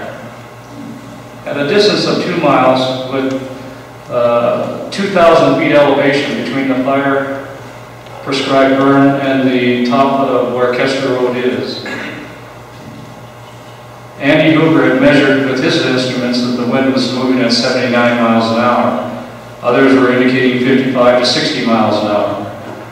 Uh, if we're only two miles away and uh, the winds are moving at a round number of 60 miles an hour, that means uh, it takes two minutes to move from the prescribed burn area to the Kuehster Road area. In that wind that's howling, uh, there's embers as Jack had indicated and so on. You don't have a whole lot of time to make up a decision. Do we evacuate those people or not? And uh, when you burn that close to population or residents, you need to have uh, an early warning system somehow. And uh, I don't think that was in place at this particular time. I saw pictures this morning of many firemen and equipment on the scene of a fire that was put on the presentation on the screen. And, and another picture of very few men and equipment on the scene. It's funny they didn't show any uh, pictures of no equipment and no fire, and uh, no equipment and no men on the scene when the fire is still burning or smoking. Smoke could be seen from at least two miles away, as was indicated in that picture. No one was there. Your committee must recommend that they can never, this can never happen again. Lastly, all fires are horrific. What I can not get my head around is the fact that this fire was instigated by the Colorado Forest Service. The end result were three people killed, many people tra traumatized, and tens of millions of dollars in losses. We will never be the same again.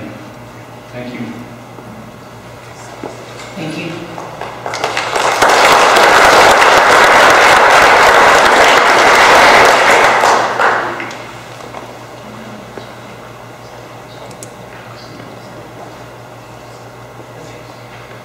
Typically, uh, we have a chance for a commission or committee members to ask questions, but we've just done a quick little check-in here, and we'd rather just hear from you. So uh, if someone does have a burning issue, I expect you to nudge me, but um, with that, I will move on to Jack. And mark you are good? Okay, thank you. And Tom, anything?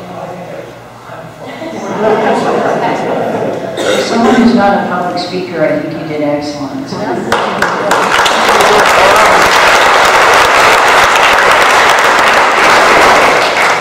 Next on the list is Kim Olson and Doug Boulay.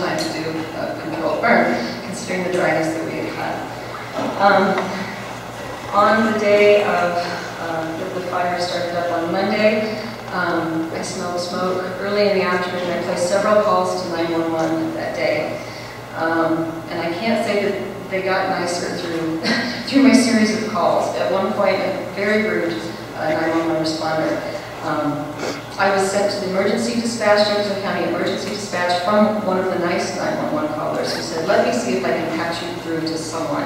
And I believe that was the third call that I made, where finally I was placed to someone who was at least um, supposedly more local and in the county. And at that time, I was told there was nothing, and I should check the uh, sheriff blog, I believe, um, which I went to, and there was nothing that had been listed on there for quite some time. So it was no help.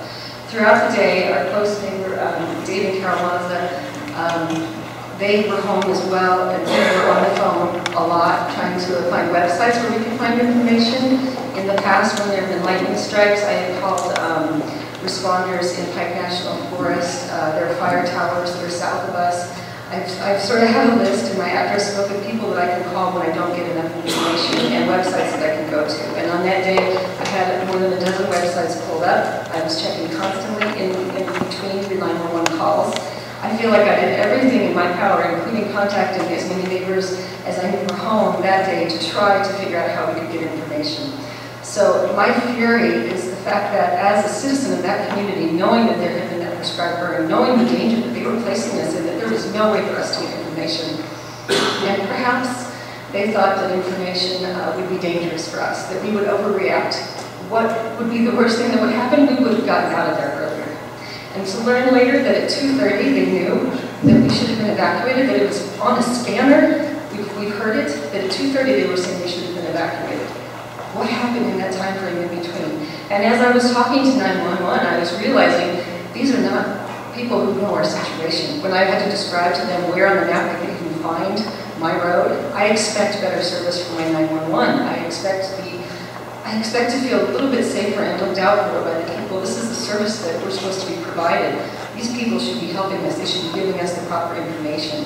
Now, I can't blame the 911 individuals. Clearly, they weren't getting the information. So on that day, I realized this system that I have held true, that I believe there's a system that supports and helps us, I, I think it's, it's, it's very faulty. And I don't think that we can trust it. And so if you were to ask me right now, do I feel safe in my own community, the answer is absolutely not. I don't feel like it's, it's fallen apart. I don't feel like I have that safety. I can trust my own instinct better than I can trust the information that I'm getting from people. So, that said, um, the day, on that afternoon, um, I was, um, you, you might say if I was smelling smoke, I wasn't accompanied in the family. Maybe part of it was because I was being told not to worry. One of the 911 operators told me that I shouldn't call every time I smell smoke. That's the kind of sort of condescension I'm talking about. So, I'm trying to get information. My husband and the kids are gently packing things. He was a little more trusting than me. He said, you know, they'll contact us. In the past, we've been on alert to be evacuated. And, um, you know, we had, we had someone come down the driveway. That's how we heard before. We just assumed that information was going to come to us, so we trusted it. Um, and kept on the websites, and, and finally we were listening to um. There was a man on PineCam, waterman from Evergreen, bless his heart, because he, that's how we learned about the evacuation. Um, he posted it on PineCam, and that's how we did, and that's why we got out. And that's all that we had. And so throughout the day, when there had been prescribed burns and um, other burns, the High Meadow, um, many other fires that had blown in our direction from the southwest, Hayman fire, we have had the smoke We've had the smell, we've had all the same symptoms that we were experiencing on the day of, on Monday. And so we're looking at distance, time frame, wind, and, and what we see in the sky, and that's what we had to go from. And so at the point when we finally saw the evacuation notice, in my memory, that is when the sky notably changed. And it went from something that we had seen many times before to something we had never seen before. And we had a very short window to jump in the car. Pray to God, all my children were in the car, three kids, and I was in the car in front, and we flew out of there. And then we, all we could think about was the rest of our neighbors further down the road. If we're barely making it out, do they know? Because they're, they're dropped down on the backside of the mountain. And I know that they didn't have the same visibility that we had. And so what do you think about how do you live that night, knowing that all your neighbors may not have gotten out? And clearly they didn't. And so, in, in the time following, do you think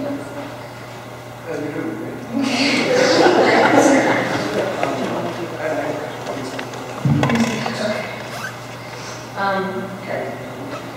Well, I was just going to go through sort of, um, in, in general, life since this. We lost an outbuilding, we lost uh, cords of firewood, we lost, we had some uh, property damage, a lot of trees burned. Nothing compared to what our neighbors went through. We feel extremely lucky. You know, uh, as Jack was talking about the large chunks, we had chunks like this in our, we have uh, 10.8 acres, and we had, you know, they say these things were blowing a thousand feet. The ridge at the top of our driveway is where the fire, the road acted as a break of some sort. But for a thousand feet, that was shooting over into our property. So we had people up there who actually saved and helped to save our home, and without them, it wouldn't be there at all. But there are large patches of burn, and to come up in the week following, um, when the sheriff allowed us to come up and we could grab a few thi- few things, um, you know, it's just, it's just all black, and to see the home standing was just, it was an absolute miracle. And we have our neighbors to thank for that, and the firefighters that came up. But in the time following that, you know, we're, uh, my daughter enters therapy at school, and she's not sleeping, and the kids are extremely traumatized. They're 13, they're 9, and they're 4, so they're all going to process at very different rates. I'm a wreck. Uh, I can't remember to pick my kids up at school. I have to put little notes up on the refrigerator at the hotel so that I can remember to pick them up up the road. And um, so short-term memory gone, no food, no sleep, you know, and we're, we're the people who made it with our home. And all these other people, I don't even know what they went through. We've tried to support each other as much as possible. This is more than devastating. On July 7th, I had an hour when I sat and I actually found myself smiling and I had a strange sensation, I wasn't sure what it was. And it was just a moment of contentment. Like suddenly I wasn't in a hole. And it happened one day for one hour on July 7th and I wrote it down. And that's what this life, that's what it's been like since. So, um, the prescribed burn, I mean, obviously where I feel things failed, I think the prescribed burn was a mistake. It was a terrible mistake. And Tom did an excellent job explaining in every way how that was a huge mistake. I don't think I have anything to add to that. Um,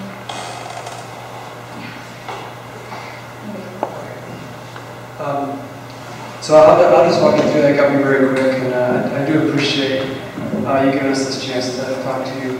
Um, You know, our, we, we uh, as she said, we had a, um, one of our neighbors, like, one of the members of our community was posting on a webpage, um, basically what he was hearing on scanning. We don't own a scanner. Um, So my, you know, one, one recommendation would be to, you know, it, there is a, a webpage where um, the sheriff, where, where she was directed to look for information. And when we looked at it, the latest post was like March of 2011. Uh, you know, so I, I'm not exactly sure what the latest post was, but it was almost a year and a half old, and that's supposed to be our source to get some information. So, you know, the, it, the good news is that there is something there of emphasis that isn't really being used. Um, so it was actually just some member of our community that we, was the only reason we knew to, to leave. It was a, uh, you know, a post by of our community at 5 o'clock saying mandatory evacuation. Uh, our video of our escape was at 526. So from the time that that was posted, we had, you know, we were basically, I had already been packing bags, of course, but, um, you know, you, you sort of go into a mode where you're like, well, I'm never gonna, where, oh, the videos of the kids, you know, whatever, you, you start thinking of things that you're gonna lose. You know, so we're grabbing things, and my son's running them out to the car, and uh, he comes in once, and I looked at it five minutes before, it looked the same as the Haman fire, the Hyman fire, we just saw smoke. Within five minutes, uh, you know, it had gotten very dark, and my son comes in and says there's ash falling out of the sky.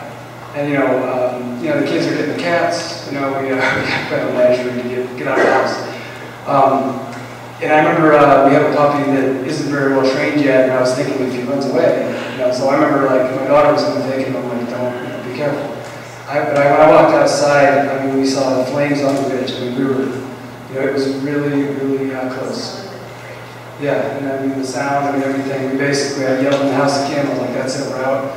You know, she comes around the corner, we had box of pictures, you know, just things that you, you think you have more time than you do, we got in the car, um, you know, and drove out. You know, obviously, you've seen the video. Um, you know, the, um, the, the uh, feeling that I've had is that from her 911 calls and from the reassurances that we got that it was a controlled burn, there was nothing to worry about, to stop calling, we felt, you know, that, or at least I felt, they'll keep us safe. These are our people that we trust with these decisions, and that you're overreacting. I mean, you know, talked about this afterwards, that, and, um, you know, obviously our trust in that, those systems has been, you know, damaged. Um, again, thanks for letting us talk about that. I just, I think to say one last thing, the, a few words that occurred to me on the way over is that I feel this whole thing has been um, responsibility or action that's been retroactive and not proactive. And if we're going to live in these mountains and feel safe, we need to take proactive steps in that to, to ensure safety. And that means taking the steps to see if that, I mean, if we can do a test of the emergency broadcasting system on the radio, can't we figure out a system where people receive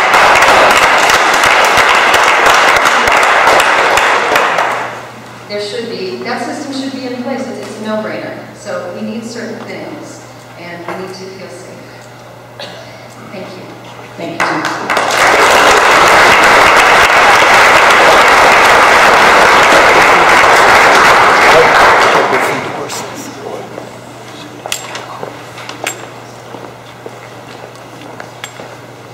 We've got someone who needs to leave, so um, if you don't mind, I'm going to skip over to a page. Marsha Petry.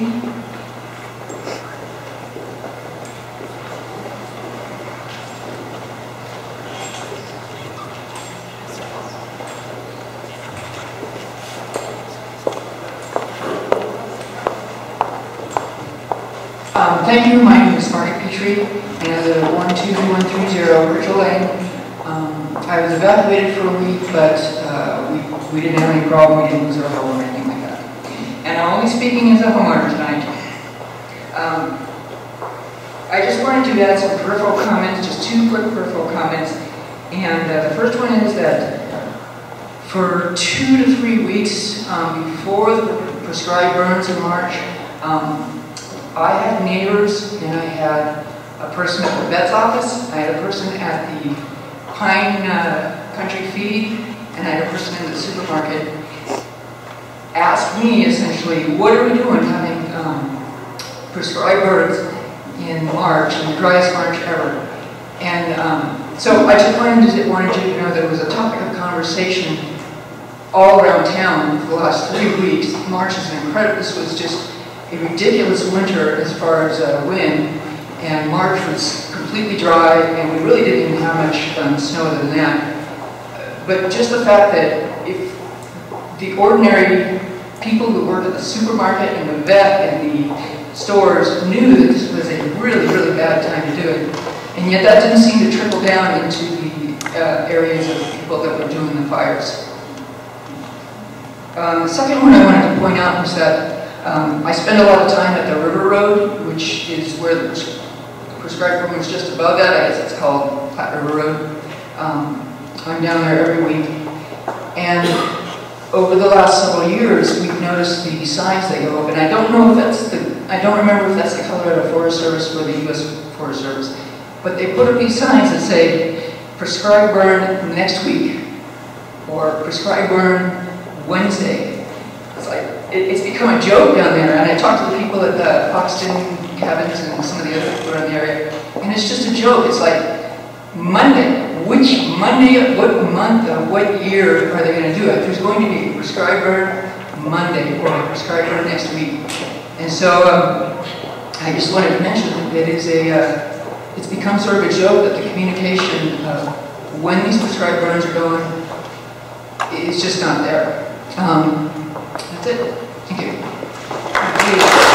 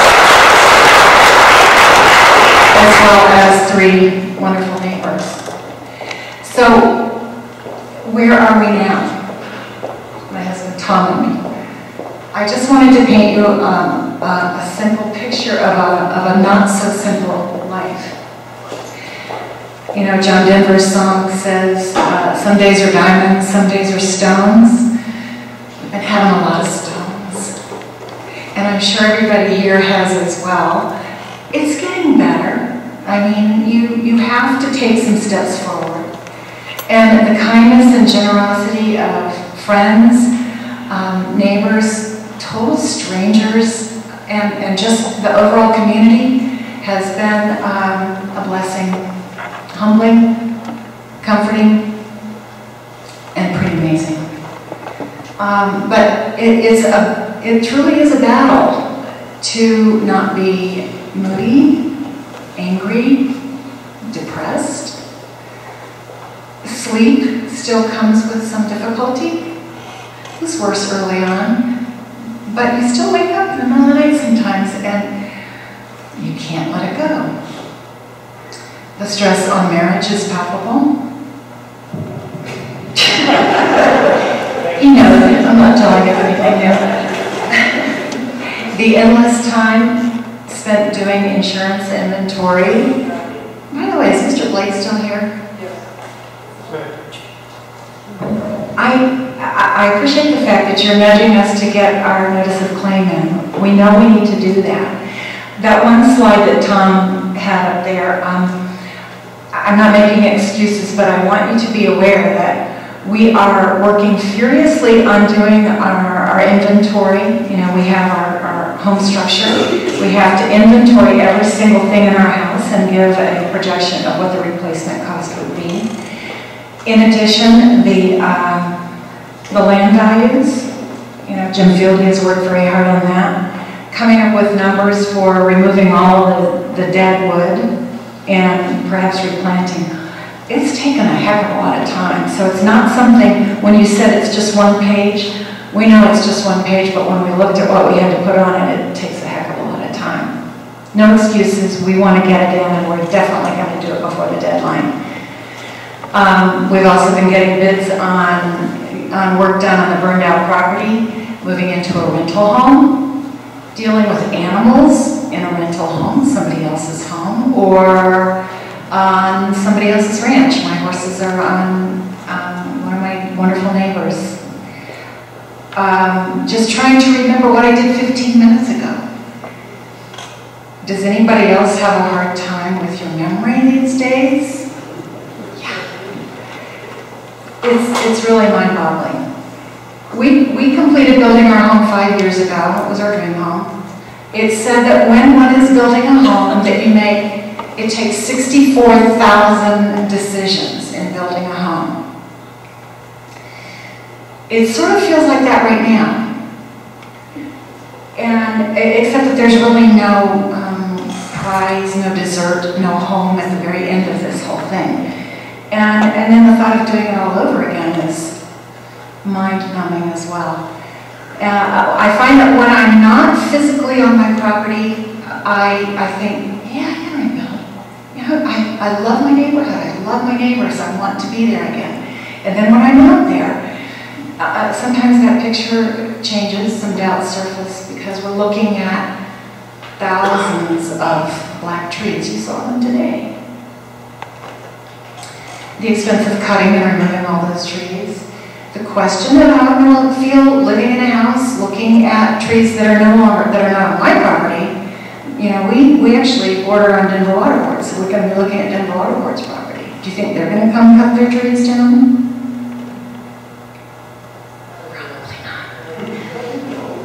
I, I'm, I'm kind of curious to know, and you don't have to answer me because I, I suspect I do know, of how you felt today when you were looking at these burned out properties. Were you able to put yourself in our shoes? What would you do? How would you feel? I really hope that you'll keep that in the backs of your minds. And we look towards the state with some trepidation right now. Um, we know we've been wronged, not just Tom and me, our neighborhood. We know we've been wronged. I think you know that we've been wronged. And we love Colorado. We want to remain in Colorado. We ask your help in restoring our faith in our Colorado government and helping us to move forward in the most positive way. Thanks.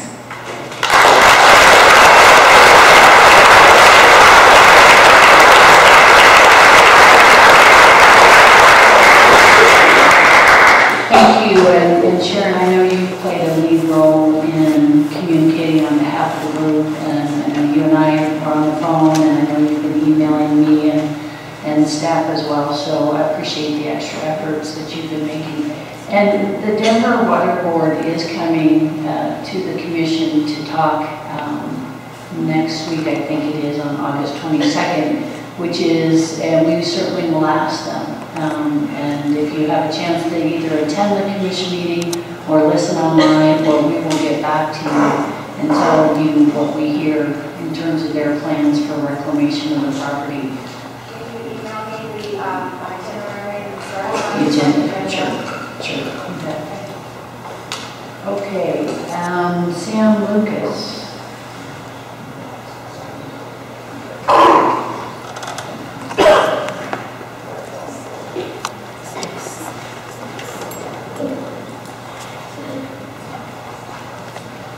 Madam Chair. So my name is Sam Lucas. I'm a little bit unique, a little bit different than everybody else who's probably here tonight. And the reason for that is because I didn't have a home up on Kuehster. My parents had a home on Kuehster.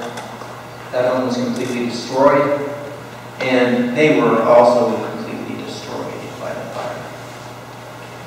Um, I'd like to thank the commission for um, spending the time um, up on the sites today. I know it was probably a little bit chilly, a little bit wet, a little bit muddy, but um, I think uh, I'd just like to thank you guys for coming up there. I, for one, believe that the state, this area has seen too much pain this year with three fire, three big fires, probably, I'm not sure how many small fires, the theater massacre, all of those things have resulted in too much pain. Six months ago, I don't think I could have truly appreciated what that pain is. And today I stand before everybody and I can truly relate to that. I want to talk briefly to you about holes. Holes in my life as a result of losing my parents in this fire. Um, my parents were very giving, um, both to me and my sister as a family, to my kids, to her kids, to anybody. They were always willing to give. As a result of that, as one whole, I don't have that giving, not so much in a monetary, in a sense, but in an emotional sense.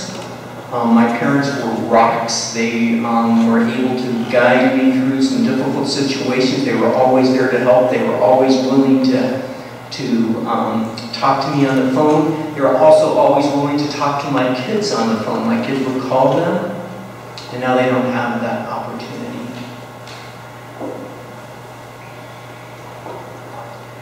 My parents also, I think, in addition to the community up on Kuehster Road, there was also community outside of that. There were schools there too. My, the house that they, they built, like, Scanlans, like probably anybody else that you'll talk to, this was their dream home. My dad, early on as a child, as a child, I can remember my dad working two jobs. And finally, he got to that point where he retired. He built his home up there 17 years ago, and it was his dream home. As a result, it was almost a retreat. Um, it was a place we gathered for holidays. Last Thanksgiving, we probably had 30 some people crammed into that house. It was chaotic, but it was fun. Um, Mountain Vista High School, FCA, for the past five, five, six, seven years, used that as a retreat um, for no charge. My parents would just say, just come on up, do whatever you want to, no worries. So they were giving back to the community. Um, they were giving back to their church. And now that doesn't exist. So there's all of these holes right now. So what am I looking for, I guess, for closure to help fill some of those holes? As Tom said, he said they're narrow and right. Yeah, these are definitely deep. I guess what I would like to see is truth. Um, some of the questions people have already asked, um, but questions, for example, so why wasn't there somebody on Sunday? Don't tell me that there wasn't anybody. Tell me why. What was the rationale behind that? What was the rationale for having this burn on the Dryas March? Don't tell me, yeah, it was a Dryas March, we decided to have it. Tell me why we didn't. Why, what was the rationale? You know, if, I'm hoping that people are strong enough and willing to take the accountability that says, yeah, we did it for monetary reasons. You know, that was our rationale. Okay, I can accept that, won't like it. But that's the way it is because at the end of the day, as Tom talked about, it's all about risk, right? You take the risk, and sometimes you have to pay for the risk. So I'm just open for truth, and um, just like to thank you for this time. Thanks.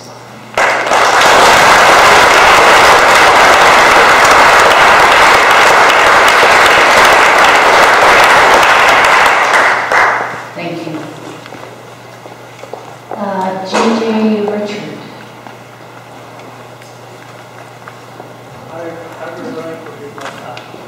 Okay, thank you.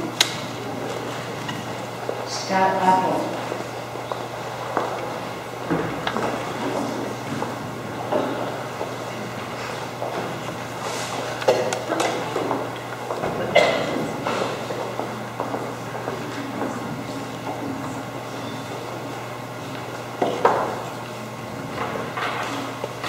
My name is Scott Appel.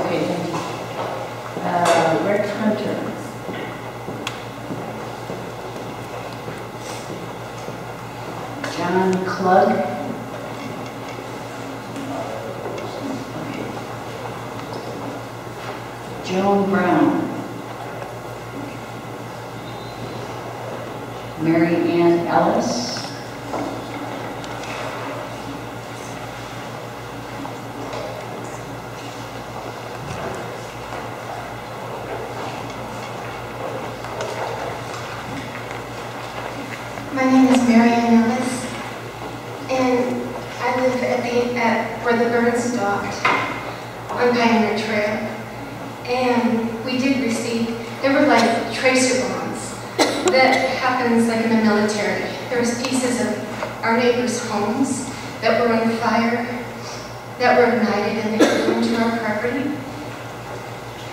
And I'm not a public speaker, so this is my own personal battle to be up here. I can't reach the microphone because I'm so short. So, but the charge is, oh, thank you. The charge is to make recommendations to the state legislator, to the state legislator in 2013. And so I would like to talk just very, very briefly about the State Forest Service and the protocol that was conceived in 1994.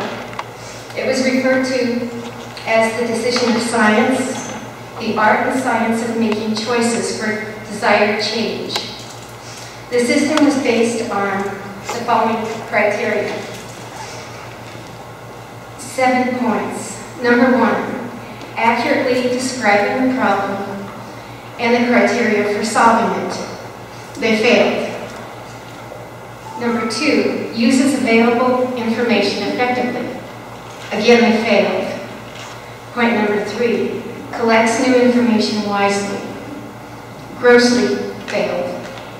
Point number four, generates and chooses from a wide range of alternatives. They failed again. Point number five, distinguishes facts, myths, values, and unknowns. That was not done. Point number six, describes consequences associated with alternative problem solutions. That wasn't even thought of. And the last point, leads to choices that are consistent with personal, organizational, stakeholder, and other important values. Well, it is my personal belief that the U.S. Forest Service needs to go back to their own reference books, such as Dawes, 1988, Automatic Controlled Decision Decision-Making Processes, or Bosman Decision Quality Concepts, because they totally lost what they were trying to do. And they, they impacted us so greatly. Every day, our life is now seeing my friends and my neighbors in a series of different levels of trauma. And we all go through it, we all understand. Sometimes we can't think, sometimes we can't speak, sometimes we can't get through the day. We're all left in emotional wreckage. And we are just trying to, to recover from this, and we require your assistance, because you're our voices. And we really appreciate you taking the time for us. And thank you very much.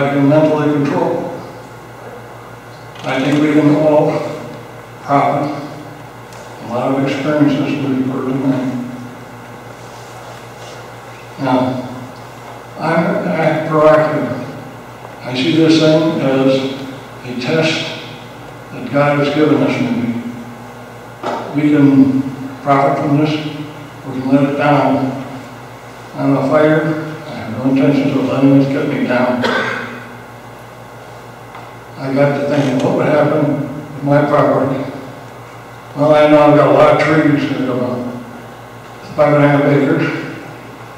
And I have about, um, I was just about thirty-five hundred trees on. If that burned, I'd have a hell of a view. It would be a view of hell. That's what you're left with. You look around uh, some of the other places. I took a trip recently by all the various fire areas. They're all the same, all bad. Now this uh, fire occurred in March. In May, middle of May, I scheduled to give a talk at a convention in Dayton, Ohio. And this convention was amateur radio operators, which I've been for over 50 years. And my talk was, I wanted to show how amateur radio operators could have aided in this uh, fire. Uh, not many people know much about amateur radio operators anymore. They're kind of a dying breed, I guess. But I looked at the topography of the thing, and I knew that there was a type of aerial that could be used. You could send a picture out one of those canyons. I was going to ask the women that did those presentations, when you had that presentation, what was your view of how you were informed about what was happening? Well done. Yes. Now, how could we help? I think I have a camera. I can take a picture of it, I can send you a picture.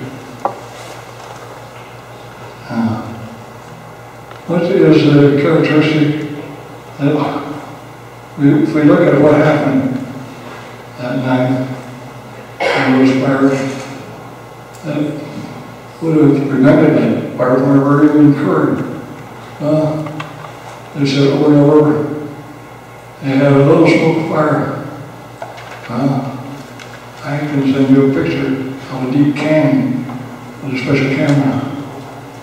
Uh, this is where I was sitting there. You'll see a couple of cameras. Them out there, you can pick those up.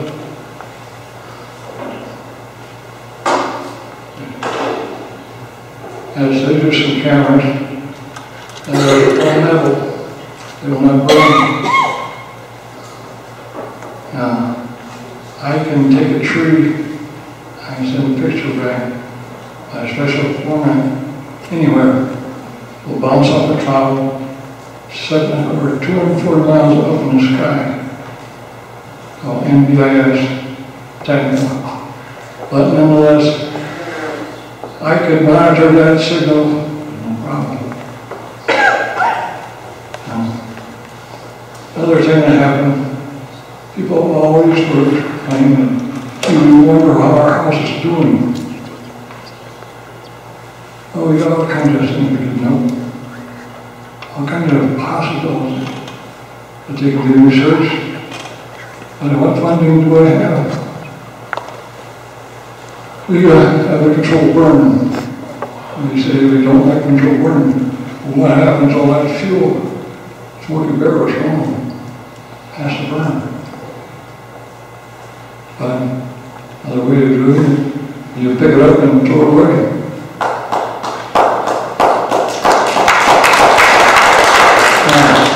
What has happened, they have cut out all funding in our county for more removal. So now I, now to need Someone's got to go. So if you don't want to control burns, you have a way of getting rid of that stuff. Um, so I would say, minimum cost of this in terms of property loss is just noise level compared to what the cost of the county was for a slash removal. You say you got fickle winds? I know you got fickle winds because I know how the uh, atmosphere works from my studies. The uh, atmosphere around the wind generates its own uh, atmosphere and fire. I guess I had wrong. Um, I always that sharp right now. But anyway, the uh, control fire or a forest fire generates its own climate. It generates storms, it generates electricity, and everything else. Uh, I gave a talk similar to this in uh, Dayton, Ohio. I also attended a talk by the home security people, and they are more concerned that a terrorist could start something. Would not be one burn, mobile burn. How are you going to handle mobile burn? We had a problem with one burn. What are you going to do with everything burn? Why? We have to have a, a total new concept. No, I'm sorry. This is not my, my show. This is your show. I have uh, a complete set of slides. This is not my show. I would like to have it, I'd be happy to help you. Thank you.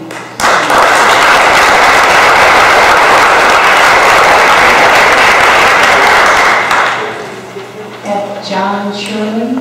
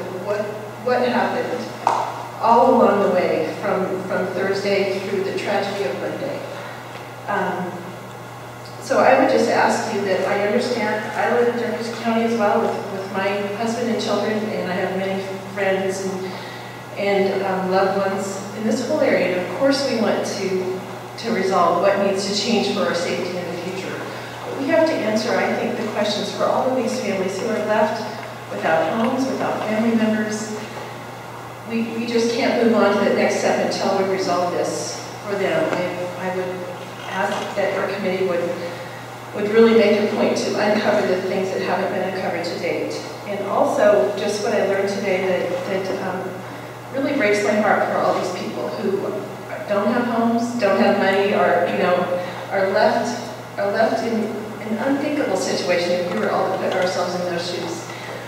Um, it's very disappointing to hear that, that I thought that a bill was passed that would allow this to be a quick, relatively quick, painless procedure for them, and, and now it sounds like maybe not, and maybe it's a long, drug-out process with, with no clarity, with no knowledge for them, no assurance of, of how long it will take, et cetera. So I hope that that is not the case. I hope that we can come to resolution sooner rather than later. We can give them some kind of, of assurance um, of, of what they can count on. They need to have something to count on. And it's, you know, they put up with a lot so far, all the, all the work that they've done to try to deal with insurance and deal with, with all the things that they've talked about. Um, I would just ask that we keep that in mind first and foremost, that we really deal with these people in this fire, and then we move on to, to what we need to do for all the rest of us so we can feel secure. Because I, I feel the same as him. I don't,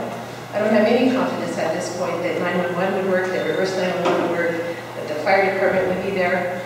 I don't have any of those, those assurances in my life where I live in the mountains in Jefferson County. So um, I, I do appreciate your committee um, and wish you the best. I hope that we can really ask the hard questions as uncomfortable as they may be, and, get the answers that we need so we can. Thank you very much.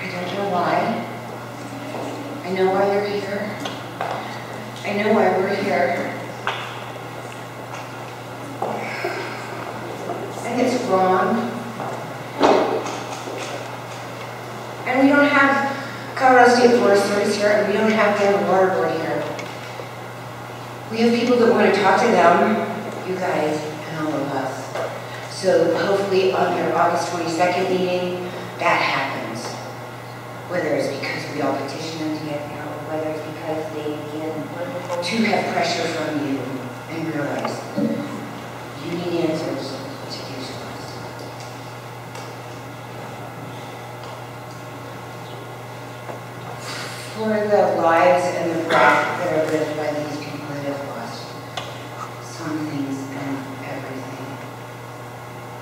Every day that goes by is daunting on our spirits because we want somebody to forgive. Because ultimately, we're all human and we all make mistakes. And we can't even find anybody to talk to us that did this. Which is why this is our testimony film. And in this, because nobody else has asked us. So we are so delighted that you're here. And that you're listening. And that you have power. And I think we believe that you're here to do it for us and be our voice. So we're going to give you what we can to go out and find answers. And some people here aren't going to like that because the answers that we're going to find are uncomfortable. So what? They're answers and this will make our community stronger. Our roots will grow deeper. This burn does not burn what we as a mountain feel and what we as a community, a mountain community know. Because we know that it could be any one of us that was gone, inspired. Because we live in the mountains and we take the risk. It's not a risk that we want to take like this anymore. We want it to change so that if you're going to present this face to us to take life, let alone um, manage forests maybe, we need community input. We need our local support in our fire departments and our emergency people to be part of the plan from here on out, anywhere in the state. Hopefully we can make it nationwide so the change becomes what it should be with notice. No one got notice. Nobody got in the protocol there's many things in the, the protocol of the State Forest Service that did not happen or that happened incorrectly. And they're not here to talk about it. And that's not right. Because that means, just like up to now, they're sort of ignoring us. And hopefully they won't be able to because of you. No notification for me is where it starts, because if we got a letter that said, there's a risk coming, we who you depend on want you to know the risk. We want you to share it. We want you to know the boundaries. We want you to know dates. We want you to have a phone number to call somebody and ask about. The little orange signs on Rock Road did not have a phone number. Like she said, I don't know if she's still here. If it said burn this Thursday, what does that mean to us? It means that we're all gonna be scared from now on if we see signs and say anything about that. Um, as we have found, no monitoring on those days was very key. I don't know if I made, that call. We know from here on out it's gonna be a different call, because our fire chief here is going to, has made sure your local department is gonna have the last call, of whether or not the burn should happen. Should have been that way before. Hopefully, it will be followed that way from here on out. To not have a contingency plan, to not believe that there was an escape possible, goes to the same thing of not giving us notice. They didn't take it seriously enough. They didn't value our lives enough to do those things. Give us a contact person. Your protocol says they could have an information specialist there, say at Fox and Road Running Deer, to answer questions. Well, that would go along with a phone number if you had a phone number to call somebody. We didn't have those things. You have your animals, your trailers for your animals. You don't travel maybe for your job. If these things are known, you stay put because we have seen what the Forest Service has done here in our state and what they haven't done in responsibilities sometimes. And to have an October 13, 2011 activity for this whole prescribed area in blacklining, those gentlemen or people on that day, they themselves on the 13th had two slop overs right there that day and they had to clean up. And then they left. And two whole days later, those embers were still alive and there was a wind event. And the Forest Service had to get called in again by our local sheriffs that live down there in Minnesota that, again, they weren't responsible enough to feel around to stay. Two days later, the wind event pulled it up again, and it was a fire that Kurt Rogers and the North Fork Fire Department took care of. That's not right. Um, I, I do believe community input and involvement from here on out in any prescribed in Colorado will make a difference. People won't die. Hopefully.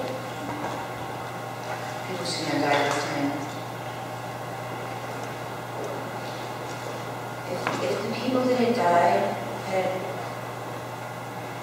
had noticed, had a, risk analysis, something in paper that said, it's possible that the fire can escape. Well, they would not have just continued to call back. They would have left. Because it's your gut feeling, you know there's a risk, you don't get the right answer, you don't wait. You don't, not anymore, we're not going anymore. We learned that, and if it's their lives that, um, were taken so that we weren't, I mean, that weren't really good. Were really good people. Don't have a voice, so we have to be your voice. And their voice is involve your local support, involve people who live around it. And I hope with our new setup, or with the Division of Fire Safety under Public Safety, I hope the change is about to be big and here. Because these people in this community aren't going to allow it to go. We, we aren't going to allow more people to die. Because we couldn't stop this one. We can stop, we can stop anything else that's not right in the future. which might make a point too. Common sense was lacking here. We who live here have common sense, we know what wind events can do. We know what dry, dry conditions can do.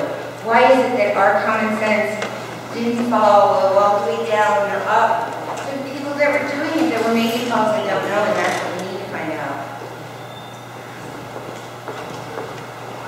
We're here to help you, and you're here to help us, so. We're in it together. Our roots will grow deeper. Can't say we're thankful for that at all. We're thankful for community. And change that we hope can actually. So thank you.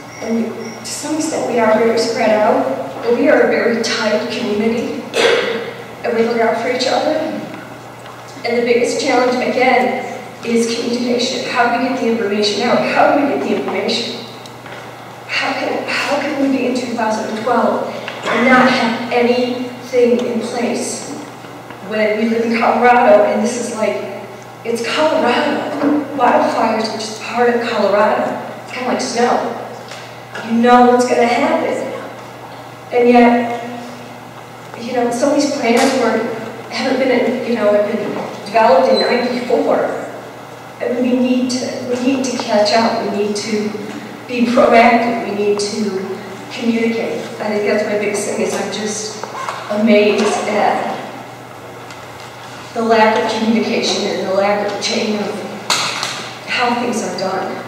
And there is, there is no communication or very little as far as what happened. And I'm very sorry for what happened. I, I live in, like I said, a different part. And if I could, I'd write you all checks. And if I could, I'd pay those people back. Because that's not okay. It's really, really, really devastating. And I'm devastated, and all I smelled was smoke. And, and I just, I just think Colorado's a great state, and I think there's so much potential here. And I just think that the government needs to start taking, they need to just start being more proactive and communicating with what's going on, just because they did a uh, prescribed fire, when that decision had been made in whoever made that decision's backyard, they would have, I'm sorry, I'm not making sense. Obviously, whoever made that decision didn't live up here, doesn't live up here, and there needs to be communication as far as, hey, we're doing a prescribed fire, what's going on? And why isn't this posted just in a small sign? Why is it posted even at grocery stores? I mean, we have two major grocery stores up here. And if you post something, most people are gonna read it. And that's just basic, basic things like that. So I just want to thank you, and again, I just, I am so sorry. Like I said, if I couldn't, I wish we could just turn back time and do some things differently. So, we're here for you. Okay? And we really appreciate all you're going through. And I just ask that you guys could maybe get something going with the money. And it's not all about money, but it helps. It would just help so much. And so I've written a few checks, but nothing like what I'd like. So God bless you all. Thank you.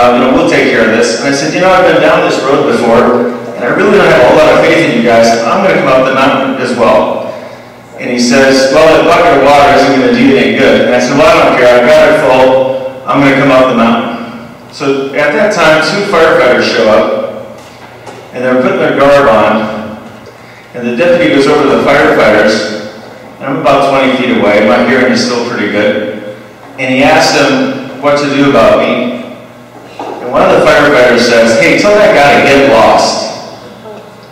So he comes back over to me and says, they don't want you around, you're gonna be in the way. And I said, you know, arrest me now, but I'm gonna help find this fire. So we go marching up the hillside, and sure enough, there's a fire at the base of the tree that got struck by lightning, It's about a three-foot circle. And the firefighters have a shovel and a pick, and that's it.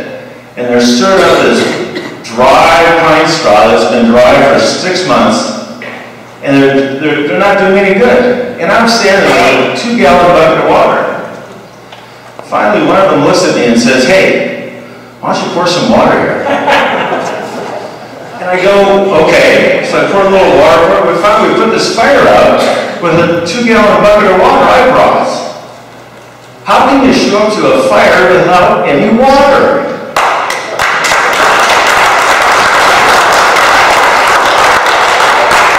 So anyway, we put the fire out.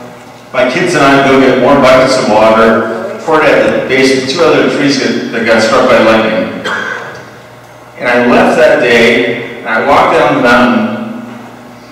It was about 150 yards from my house, and who do I run into that pulls up my driveway just then? I see Scott Appel.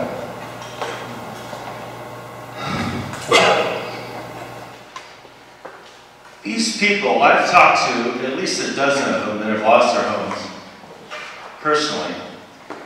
And this bill that's been passed makes no sense to be lumped together with some litigation that a bunch of insurance companies have started. These people should not be forced to be involved with that. This is a separate item.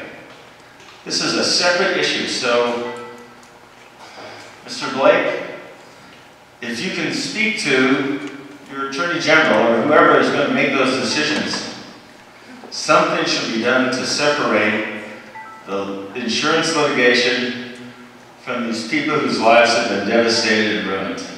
That's all I have to say. You know, actually, is it something new? I, I think what we need to do is close out, but we do, I want to remind you of the other ways to reach us, which again is email, perhaps we now have our website.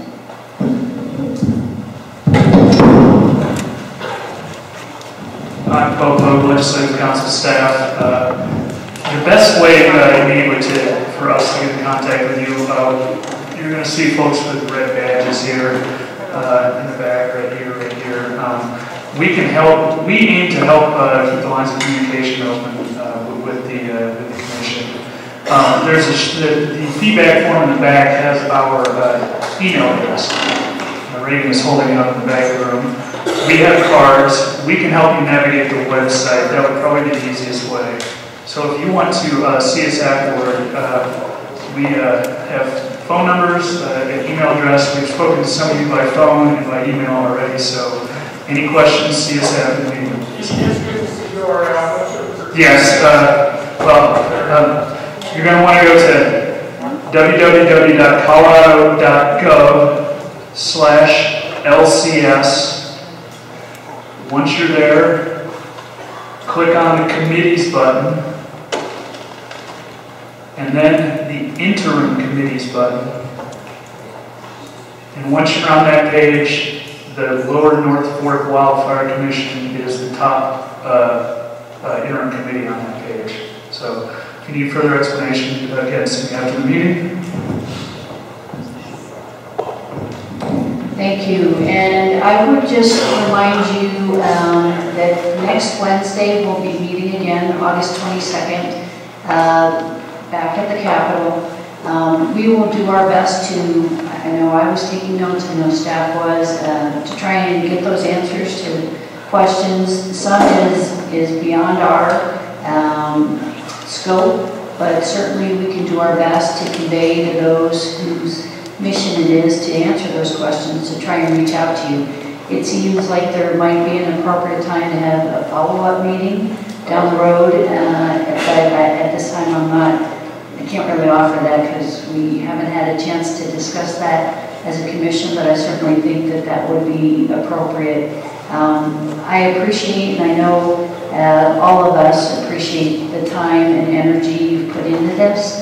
Uh, We can't really tell you how sorry we are because, again, without being in your exact shoes, but um, we are, we are sorry. We're sorry that this uh, uh, happened, and we will do our best to try and fulfill that part of the legislation that said uh, work to make this not happen to anybody else again. Uh, so with that, I'd like to again say thank you for being here and uh, good night. Meeting adjourned.